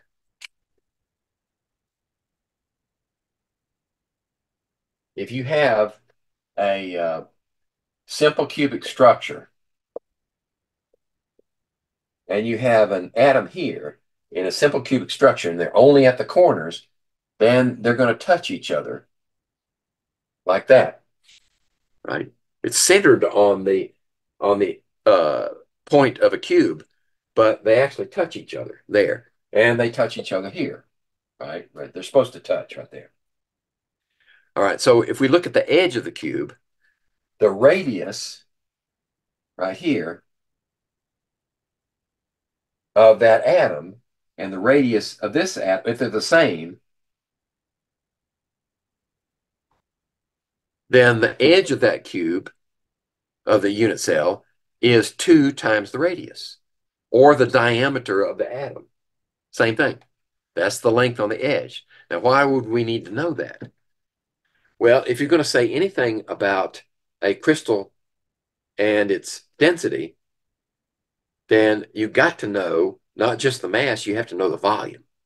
So if we know the volume of that unit cell, and we know how many atoms are represented by that unit cell, in this case, it's only one, and we know what the atom is, what element it is, then we can determine the mass of that element and its volume and we can calculate its density, theoretically speaking, and compare it to an experimental value.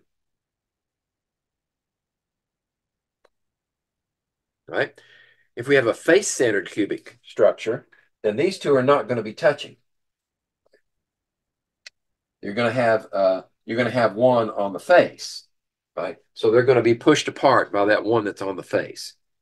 And um, I, I have handouts that describe the geometry of these cells and how to calculate the length of the edge uh, uh, with the uh, with the uh, variable as the radius of the atom.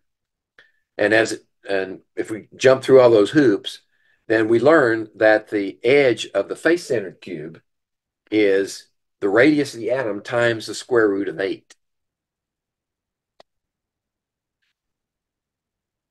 Okay. If we do the same thing with the body-centered cube, then we take that one off the edge, put the, the atom in the middle in the body.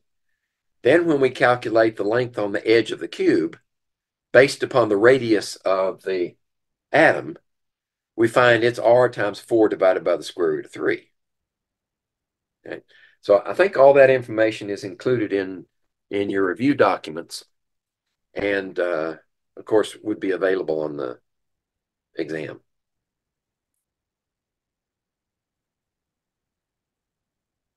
So now we're going to use that information to calculate the density of silver.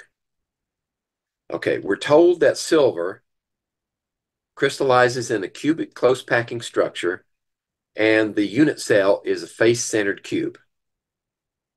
Okay, and the edge on the cell is 409 picometers.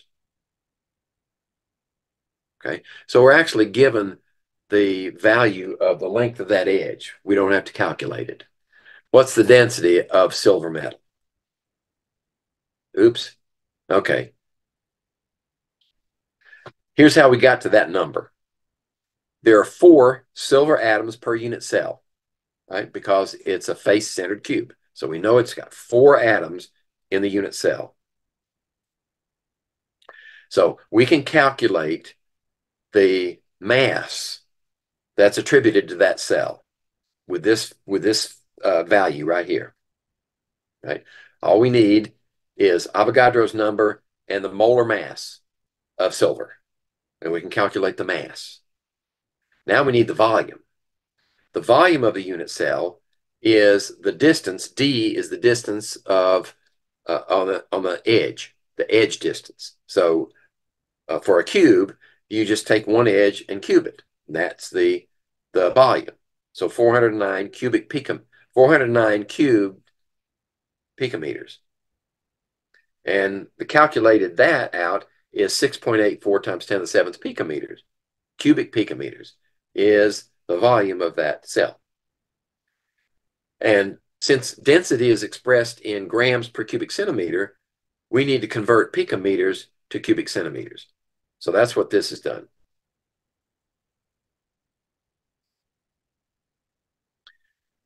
And now we're going to calculate mass and put the volume in as we go.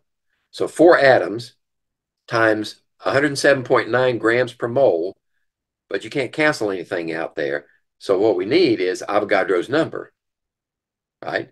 Which converts the number of atoms to the number of moles, and then the moles cancel. So the atom cancel, the moles cancel, and give us grams. So that's the grams on that uh, number of atoms. And then we divide by the volume of the cell, and we get 10.5 grams per cubic centimeter. Right?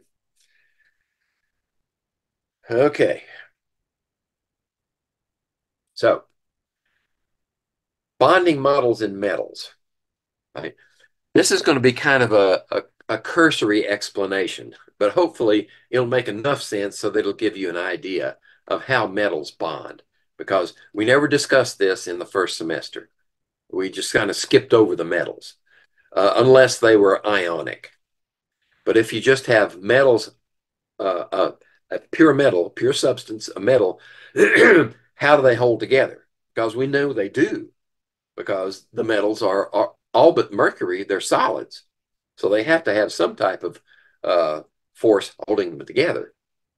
Well, the first model was the electron sea model. Right? And this is what was said, right? The metals have their, their positive nuclei, and then they have these electrons everywhere. That's the sea, the electron sea. And, and the, the exchange, the, the Coulombic attraction between the electrons here and that electron with another positive was the thing that held them together. Right? That's a starting point, but it, it didn't explain very much. So along comes the molecular orbital model. And what the molecular orbital model says, as it did in the first semester when we studied it uh, toward the end, is that this whole chunk of metal can be described as an array or a, a, um, a stack of molecular orbitals at different energy levels. And they form bands because there, there are so many electrons that go into this band that the energy gap between the bands is extremely small. So the energy required to migrate from one band to the other is very small. That's why metals are good conductors of electricity and of heat because those electrons don't have to jump very far to get from one band to the other. Right? So if you only have two um, atomic orbitals, then you get these molecular orbitals. If you have four, if you have six, if you have a mole of them, it's almost continuously variable if you have that many. All right. So another way to look at these molecular orbitals is uh, those that are the highest filled orbitals. Right. The the um, highest occupied molecular orbital, which is abbreviated HOMO, H-O-M-O. The highest occupied molecular orbital is the HOMO.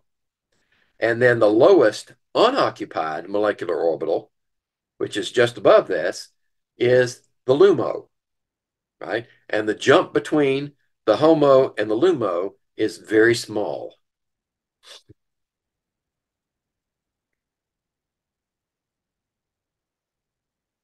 Okay. So that's just a cursory explanation of how metals bond by an exchange of those electrons and the formation of these molecular orbitals that are very, very, very close together in energy levels. Now we're going to form alloys. Right? We're going to put uh, other things into pure metals. So we have a metal, and we're going to combine it with another metal or another nonmetal, or maybe a combination of them. But they can be subdivided into two types of alloys. One is the substitutional alloy.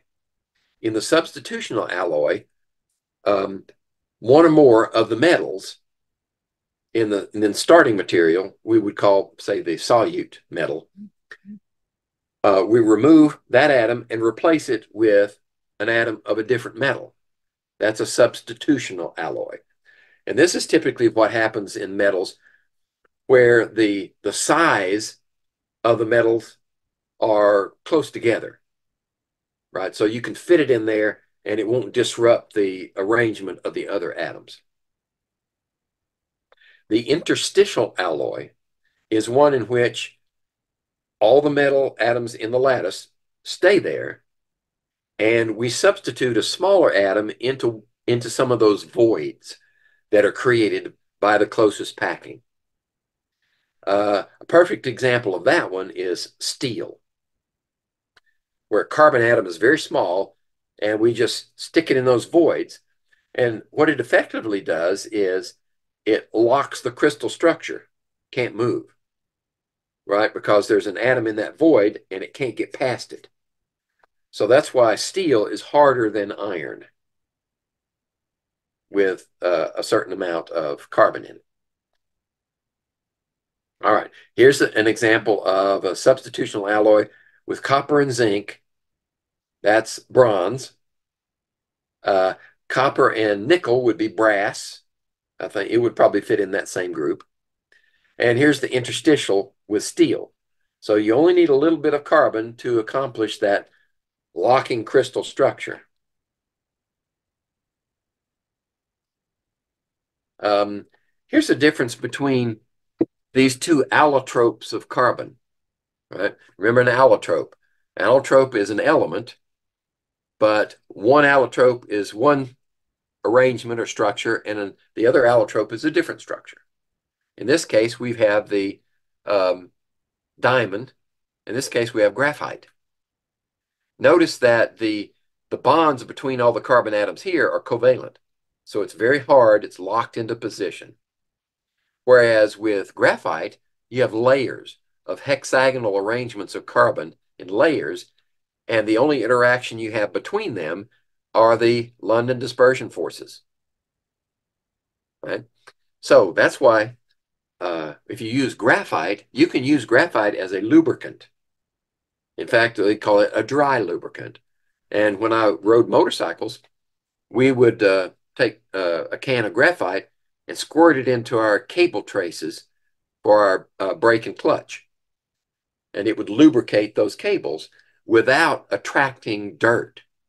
You know, if you used oil, then it would attract dirt and it'd clog up your cables. So we squirt the graphite in there and it causes lubrication because those plates will slide past one another. All right. For diamond, what we find is the difference between the, the HOMO and the LUMO is massive. The distance between those two is huge. So what does that mean about the physical properties of diamond? Well, the physical properties of diamond can be measured. It does not transfer heat very well. It has a very low uh, heat capacity. And they use that, in fact, the um, jeweler will use that with a special device to determine whether your stone is a diamond or not. Because it should have one of the lowest uh, thermal conductivities of all materials, of all gemstones. So they touch that thing to your diamond and it measures the thermal conductivity very low. Uh, and you confirm that it's a diamond. But if you did that to a metal, the metal would absorb lots of that heat. It has a very high thermal conductivity because the distance between the HOMO and the LUMO is very narrow. And it can easily take that energy and distribute it throughout very quickly, whereas the diamond cannot.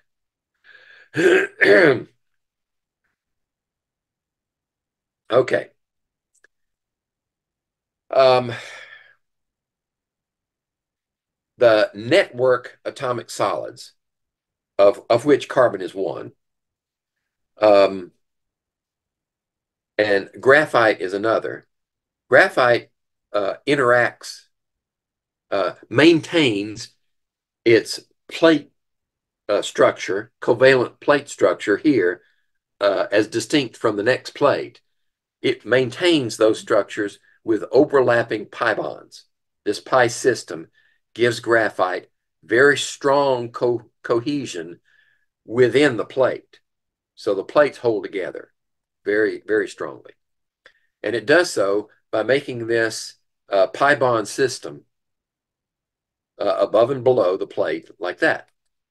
And then the, uh, the bonding between those has to rely upon uh, instantaneous uh, appearance of these uh, weak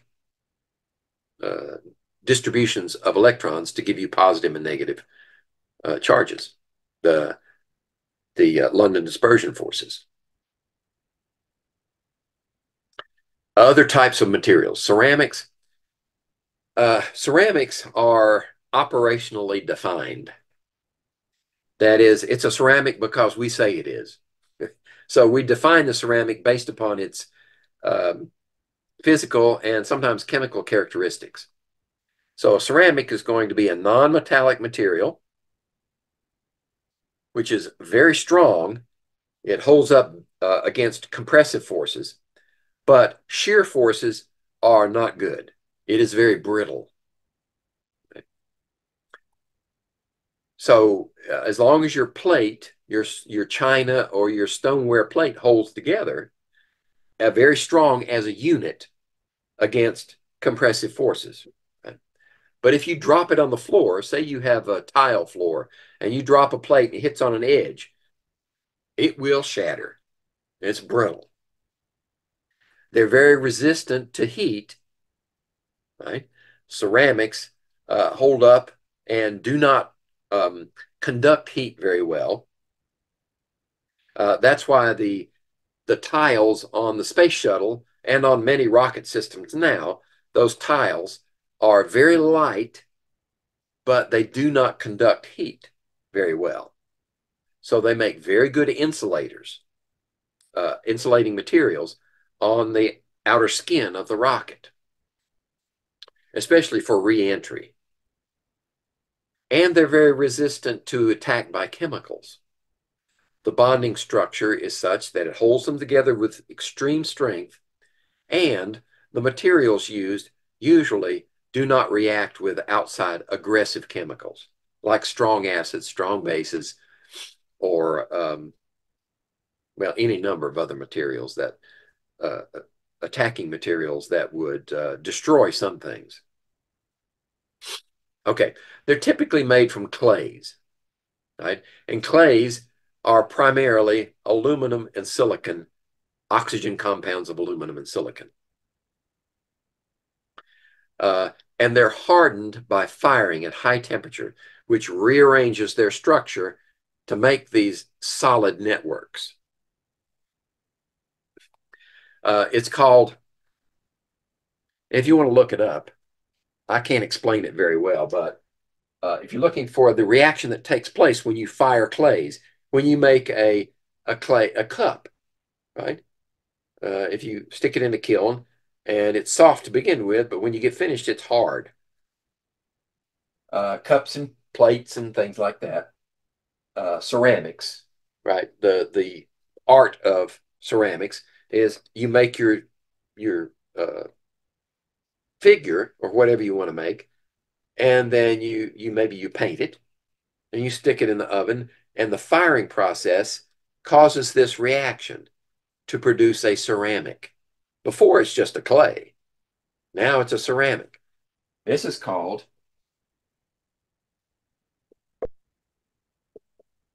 a pozzolanic reaction. If you want to look it up. If you don't, then forget about it. Now, there are other types of solids that we make very, very uh, uh, a large amount of money is poured into and comes out of semiconductors. The semiconductors are based upon um, a pure element of your choosing. Usually, uh, it occurs uh, near the border of the metals and nonmetals. Right? So silicon is a good example of that. Silicon is right on the border and we would consider silicon a metalloid because sometimes it acts like a metal, sometimes it acts like a nonmetal. But others have been used, like uh, germanium uh, has been used as a base material. But silicon is used uh, primarily because it's abundant and it's it's very cheap. And the cost of making pure silicon is where the cost is where the prime the largest amount of input is required because in order to make a semiconductor, your base material has to be absolutely pure. And uh, I've seen videos of uh, the purification process for making silicon. And what they do is they crystallize silicon into these big ingots. They're solid, pure silicon ingots. And I see them rising out of the of the uh, the uh, crystal, the solution that they make it from. And they're that big around, and they're about 10 or 12 feet long. And then they put them in a, a uh, saw, they saw them and slice them into thin layers. And then that's what they use to build their uh, uh, semiconductor circuits on. Well, well, most semiconductors uh, are made in one of two different types. There's the N-type semiconductor and the P-type semiconductor. The N-type semiconductor is one which, after it's pure, is doped with an element that has one or more electrons more in its valence shell than silicon does. So that would be something from to the right of silicon in the periodic table. So if silicon, phosphorus is to the right of silicon, if you dope it with phosphorus, you're making an N-type semiconductor because it has an ele extra electron, which is now mobile. It's not fully mobile as it would be in a metal, but is mobile enough that with the right impetus, you can cause that electron to move. Okay.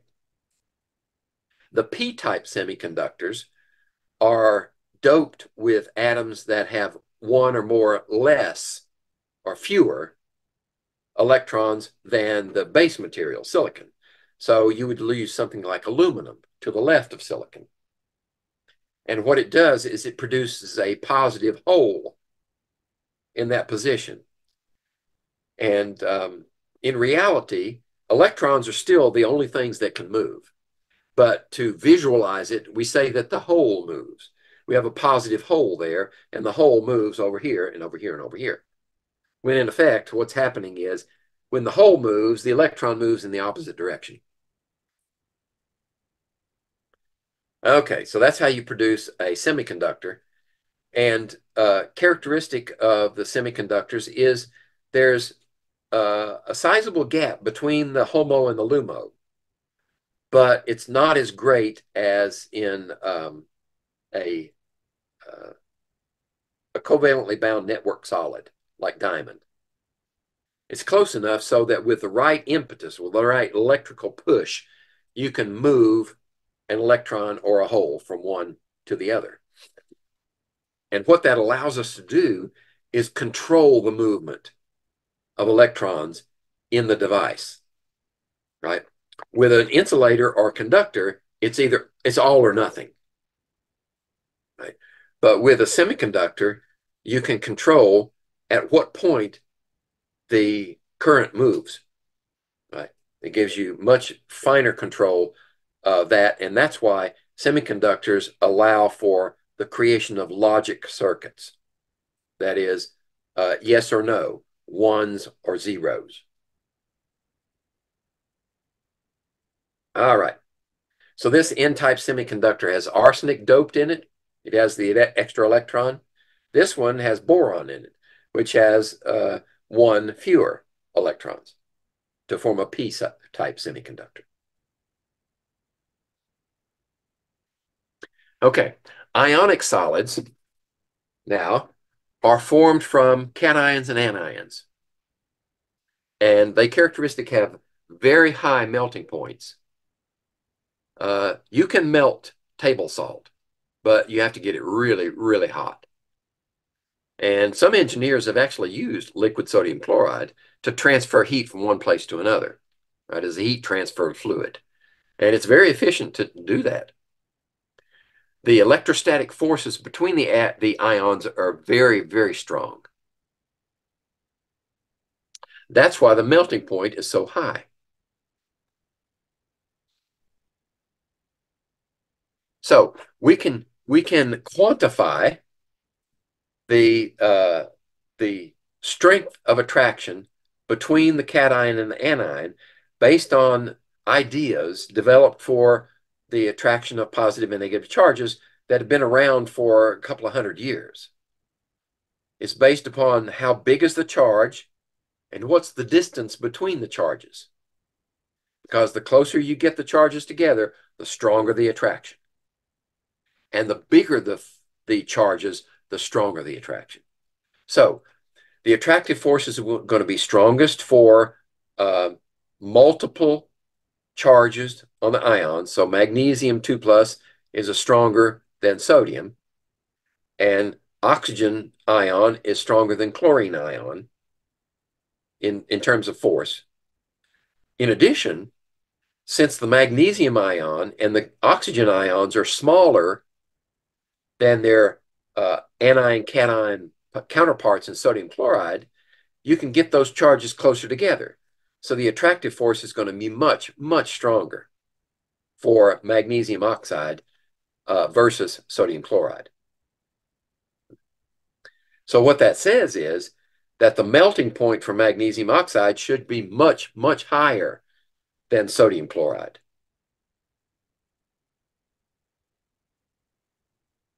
All right. All right, we're gonna we're gonna go back a little bit to the um, the types of voids that can be seen in crystal structures. First, we're going to look at the two-dimensional version, right?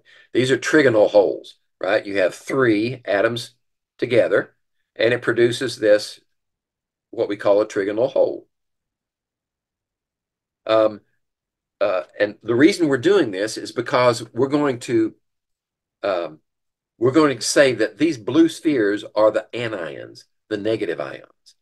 And then what we want is a trigonal hole or a hole, a void, that's large enough to accommodate the, the cation. That's required for forming an ionic solid, right? So these, uh, the binary ionic crystals uh, in the binary ionic crystals, the holes are much too small for the cation. So in the binary ionic crystals, the holes never occur. The tetrahedral holes are formed when a sphere sits on uh, in the dimple of the three spheres forming the triangular hole. So in this case, uh, if we form the the, the tetrahedral hole from sulfur sulfide ions, then we can stick a zinc ion in the middle. It's small enough to fit.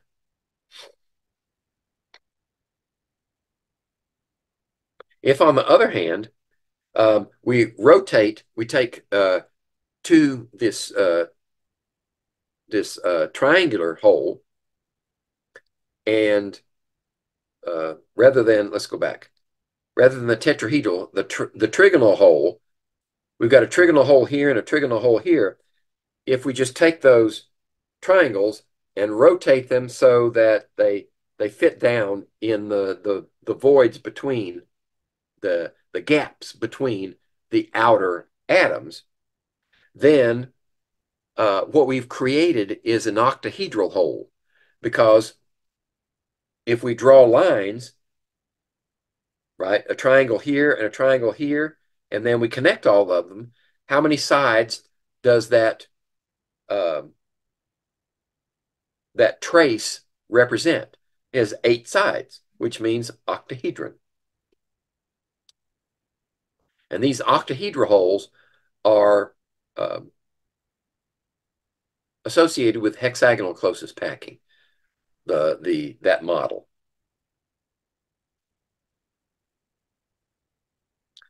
So these holes that we're trying to identify, the trigonal holes are the smallest.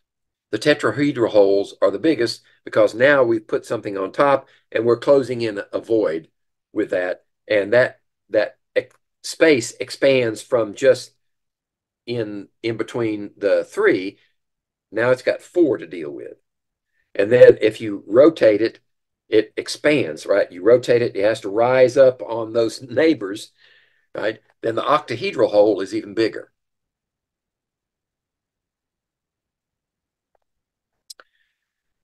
okay so this this table just organizes everything we've talked about so far in terms of the types and properties of the solids. So we're not going to spend a lot of time here. Um, it just organizes thing into into one slide. Now we're going to talk about some characteristics um, of liquids that are influenced by these intermolecular forces. Uh, let's see. Let me look at your labs. Um, freezing point. All right.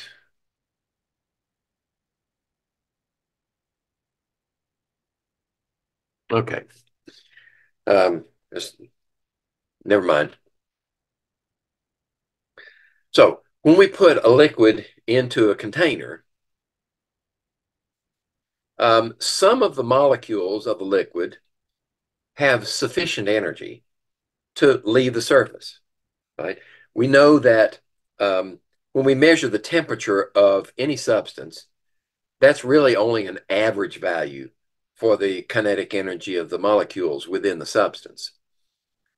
So there's, um, if we looked at the individual kinetic energy of the molecules and the distribution, right? So we have uh, uh, numbers of molecules on this axis, and this is the kinetic energy, then we know that uh, it usually follows something of a bell curve like this. So most of the molecules have energy in this range, and a few of them have less energy, and they're constantly exchanging it. So this is an averaging effect. And uh, there we go. So what we find is most of them have energy in this range, but some of them have energy over here. And uh, this is often enough energy for the atoms or the molecules to exit, to leave the surface and become go from gas to liquid. Right? So when we first put the liquid in the container, we get this evaporation effect.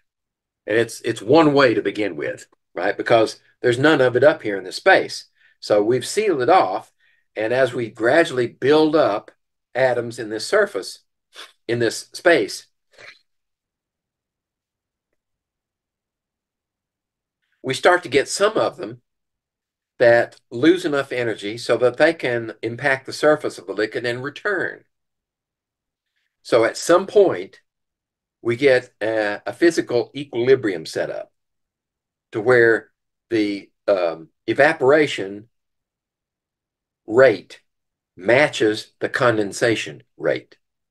And at that point, we've lost some volume of liquid, but it stops decreasing. So macroscopically, what we see is the liquid decreases in volume to a point and then it stops. Well, if you have a, a device in this cork that can measure the pressure of the gas inside the vessel, you'll find that it will be higher than atmospheric pressure, and it's a measurable amount. That's called the vapor pressure. It's an it's just the pressure at equilibrium when a liquid is confined in a container. Now, that vapor pressure, let's see. Yeah, this is a graphical explanation. The rate of condensation, the rate of evaporation is the same always, right? It's based upon the temperature. But the rate of condensation gradually increases until it equals the rate of evaporation. And now we have an equilibrium set up. What we notice is that the pressure of the vapor uh, at equilibrium, this vapor pressure, is dependent upon uh, temperature and intermolecular forces. So if the intermolecular forces are weak among the molecules, like they would be with ether, then the vapor pressure will be relatively high at a given temperature. Lots of molecules are able to leave the surface at a given temperature because the forces holding them down are much weaker. Whereas if we take ethanol, for instance, which is the same formula but a different structure, and we measure its vapor pressure at the same temperature, its vapor pressure will be lower because the intermolecular forces holding the ethanol in the liquid phase are much stronger. It has access to hydrogen bonding.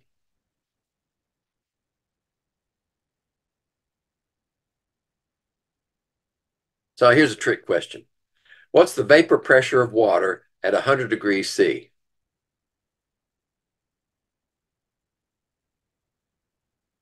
One atmosphere.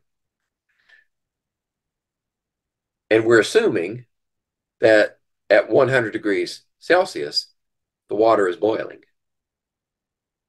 So the vapor pressure at the boiling point is equal to the external uh, atmospheric pressure.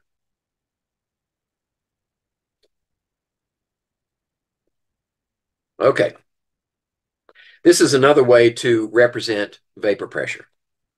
If we put, if we have nothing up here in our barometer, right, the original design of Torricelli, then at sea level, this column will rise 760 millimeters. But if we do have something up here and not a vacuum anymore, say we have some liquid that is allowed to vaporize and create some pressure, then it will apply a little bit of extra pressure that is uh, opposing the atmospheric pressure, causing the mercury to rise. So now what we have is 736 millimeters only. So the vapor pressure in the water would be the difference of the vacuum pressure and the one with water, which would be 24 torr. okay, so if we use uh, ethanol, C2H5OH is ethanol, then we find that the measured pressure is 695. Uh, compared to 760, that gives us 65 torr as the vapor pressure for ethanol. And if we use ether, then uh, the vapor pressure is extreme. It's 215 subtracted from 760. The vapor pressure measured for ether is 545 torr. It's very high. And that's simply based upon the intermolecular forces that are holding the liquid together. If they're weak, you get more of the molecules in the vapor phase and they exert that pressure.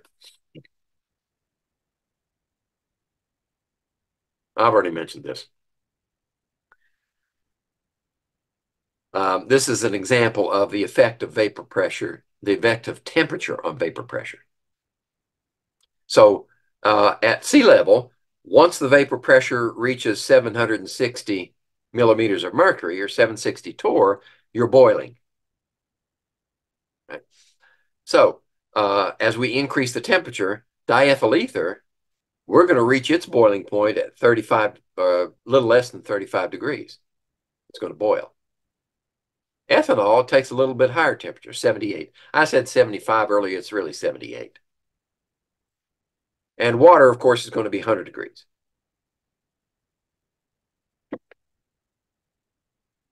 All right. Um, one thing we can do is we can calculate the uh, vapor pressure, or we can use the vapor pressure to calculate the heat of vaporization. So the heat of vaporization is dependent upon the phase the phase change from uh, liquid to gas. There's a certain amount of heat, and we can we can identify that as the enthalpy of vaporization. Right? So if we put this amount of heat, it will uh, it will cause a mole of liquid to turn to a mole of gas. And if you know the vapor pressure at this temperature, and we use the um, ideal gas constant, which is probably the one uh, 8.345, the uh, the one with joules in it. And uh, if we know this constant, which is particular for that material, then we can calculate the vapor pressure. Oops, sorry. Um, and this is all based upon uh, this initial equation, right? Which is, uh, oh, who is that? Maybe it tells me on the next page. Uh, Clausius and Clapeyron. This is the Clausius equation, I'm pretty sure. And it was modified to make the calculation much easier. So what we find is uh, if we if we measure the temperature at uh, if we have two different temperatures, at least two, and we measure the vapor pressure at those two temperatures, then we can fit it into this equation so for this temperature, vapor pressure, there's the temperature. And for this vapor pressure at that temperature, here's the temperature. And now it makes it much easier to determine the heat of vaporization because all we need is the vapor pressure at two different temperatures and we can calculate the heat of vaporization for that liquid.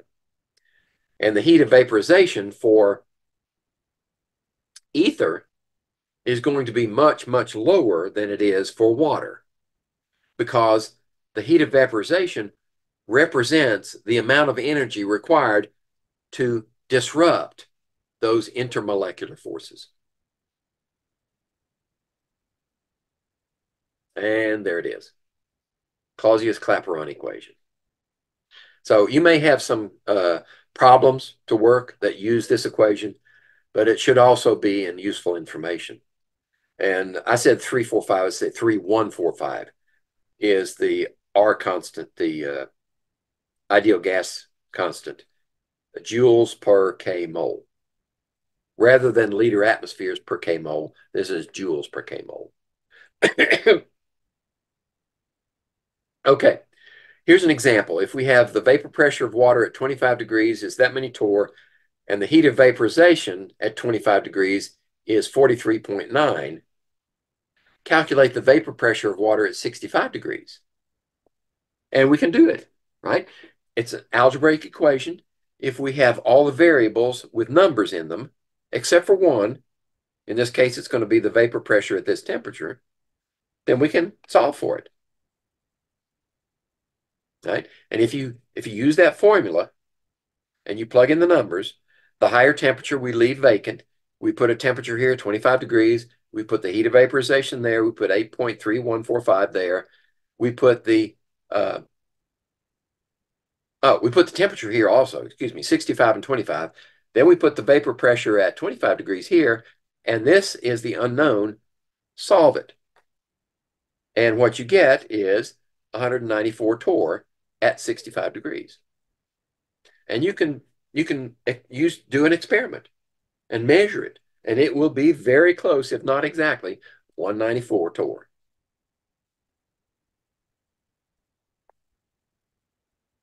Okay. Now we're talking about phase changes in a sequence. So in this illustration, we have, we're going from ice to liquid water to steam. And what we observe is that as we heat the substance, the temperature rises for ice. And as long as you have only ice and watch the temperature rising from minus 20 to zero degrees, then when it reaches zero degrees, it starts to melt. And until it's all gone, the temperature will remain constant at zero degrees.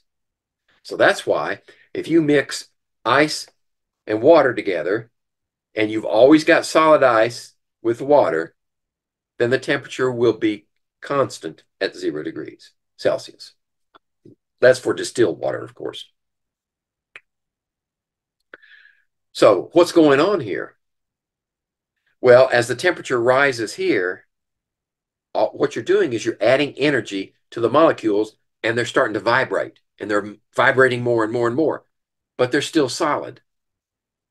When you reach the point, zero degrees, then the vibration is sufficient to break the, the intermolecular bonds.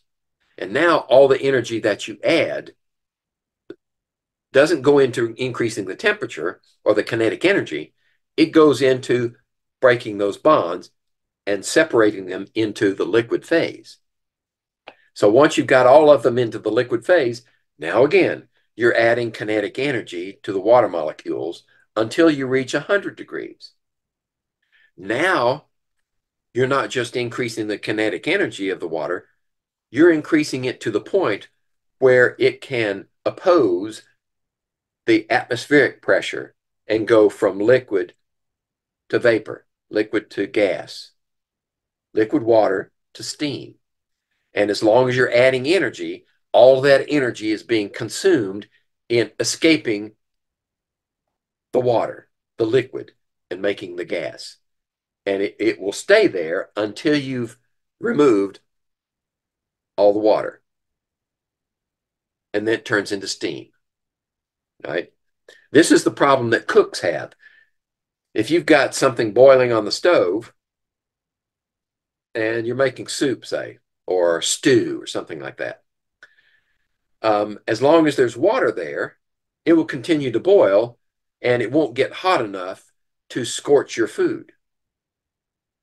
But once all the water is gone, now the temperature that the, the stove is adding to your uh, soup or stew is increasing the temperature of the solid in that container and eventually reaches the point where you burn it and you're scorching your food. But as long as you've got liquid water in there, then that won't happen. Uh, maybe on a local, right? It might scorch it locally, but what's happened is on that local zone near the pan, you've removed all the water, and now the temperature can increase in that local zone and that will scorch it also. It's called a microenvironment. Okay. In this case, which would you predict to be larger for a given substance? The heat of vaporization or the heat of fusion? All right, let me explain. The heat of fusion is the amount of heat it takes to uh, convert a, uh, a mole of ice or solid into liquid. That's the heat of fusion. Or does it take more energy to go from liquid to vapor? Well, the answer is the heat of vaporization is much, much larger than the heat of fusion. The heat of fusion, all you have to do is to get the molecules far enough apart so that they can slide past one another. And that doesn't take a lot of energy. But when you are taking the liquid molecules and speeding them up to the velocity of a gas, then that takes a lot of energy. So the heat of vaporization should be the highest. Right? I don't put an explanation there, but I just gave it to you. Phase diagrams. Uh, you can learn a lot about uh, phase transitions and intermolecular forces about materials if you construct a phase diagram. So what do we mean by a phase diagram? Well, these are characteristics of the phase diagram, but it doesn't make mean anything unless you see one. So here's an example of carbon dioxide. So in a phase diagram, you have pressure on the y-axis, temperature on the uh, x-axis, increasing from left to right and bottom to top. Okay? So these regions, uh, these lines represent transitions from one phase to another. So if we say uh, phase equilibrium lines is what we're representing here. So if you're on that line at any pressure or temperature at that point, then what you are seeing is there is liquid and gas present at the same time on that under those conditions at that line. Uh, in this case, there's solid and gas present at that. So this would represent a sublimation from solid to gas, or a gas to solid would be a deposition. Or if you go from solid to liquid, this is melting or fusion if you're going back the other way, right? Under those conditions of temperature and pressure, that's what you get. There's one point in here where they all the lines meet. This is called the triple point. So at exactly that temperature and that pressure, you can have solid, liquid, gas present at exactly the same time. Now, the only other one that stands out is this critical point. So at some point of temperature, usually elevated temperature, elevated pressure, you can, uh, the line, the phase line stops. And what you get out here is a, uh, oh, shoot. I forgot what it's called. It's it's still a fluid, right? It flows, but you don't get a phase difference between liquid and gas. It's like a it's like a hybrid of sort. It flows, but you can't classify it as either a liquid or a gas. Uh, and this is um, this is what has uh, blossomed into an industrial uh, product called super supercritical fluid extraction. So in carbon dioxide, um, this is a good example. Carbon dioxide is often used for this supercritical fluid extraction. So what you have to do is increase the temperature and the pressure to the point where your fluid is out here. This is a supercritical fluid. And um, supercritical fluids are characterized by the ability to penetrate membranes. So I'm talking about living systems. Um, in my case, we use supercritical fluid extraction for uh, dead material, right? it was uh, uh, usually plant material of some kind.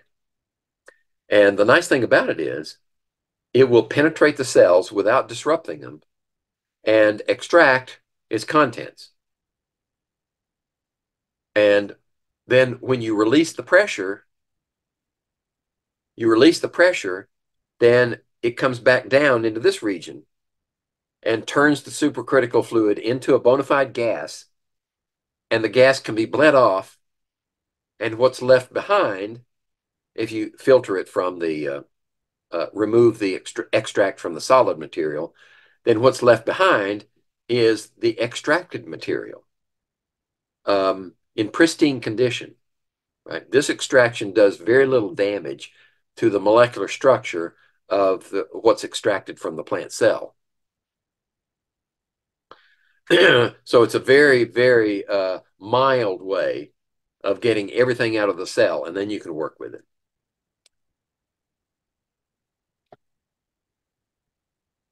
Okay, uh, notice one thing.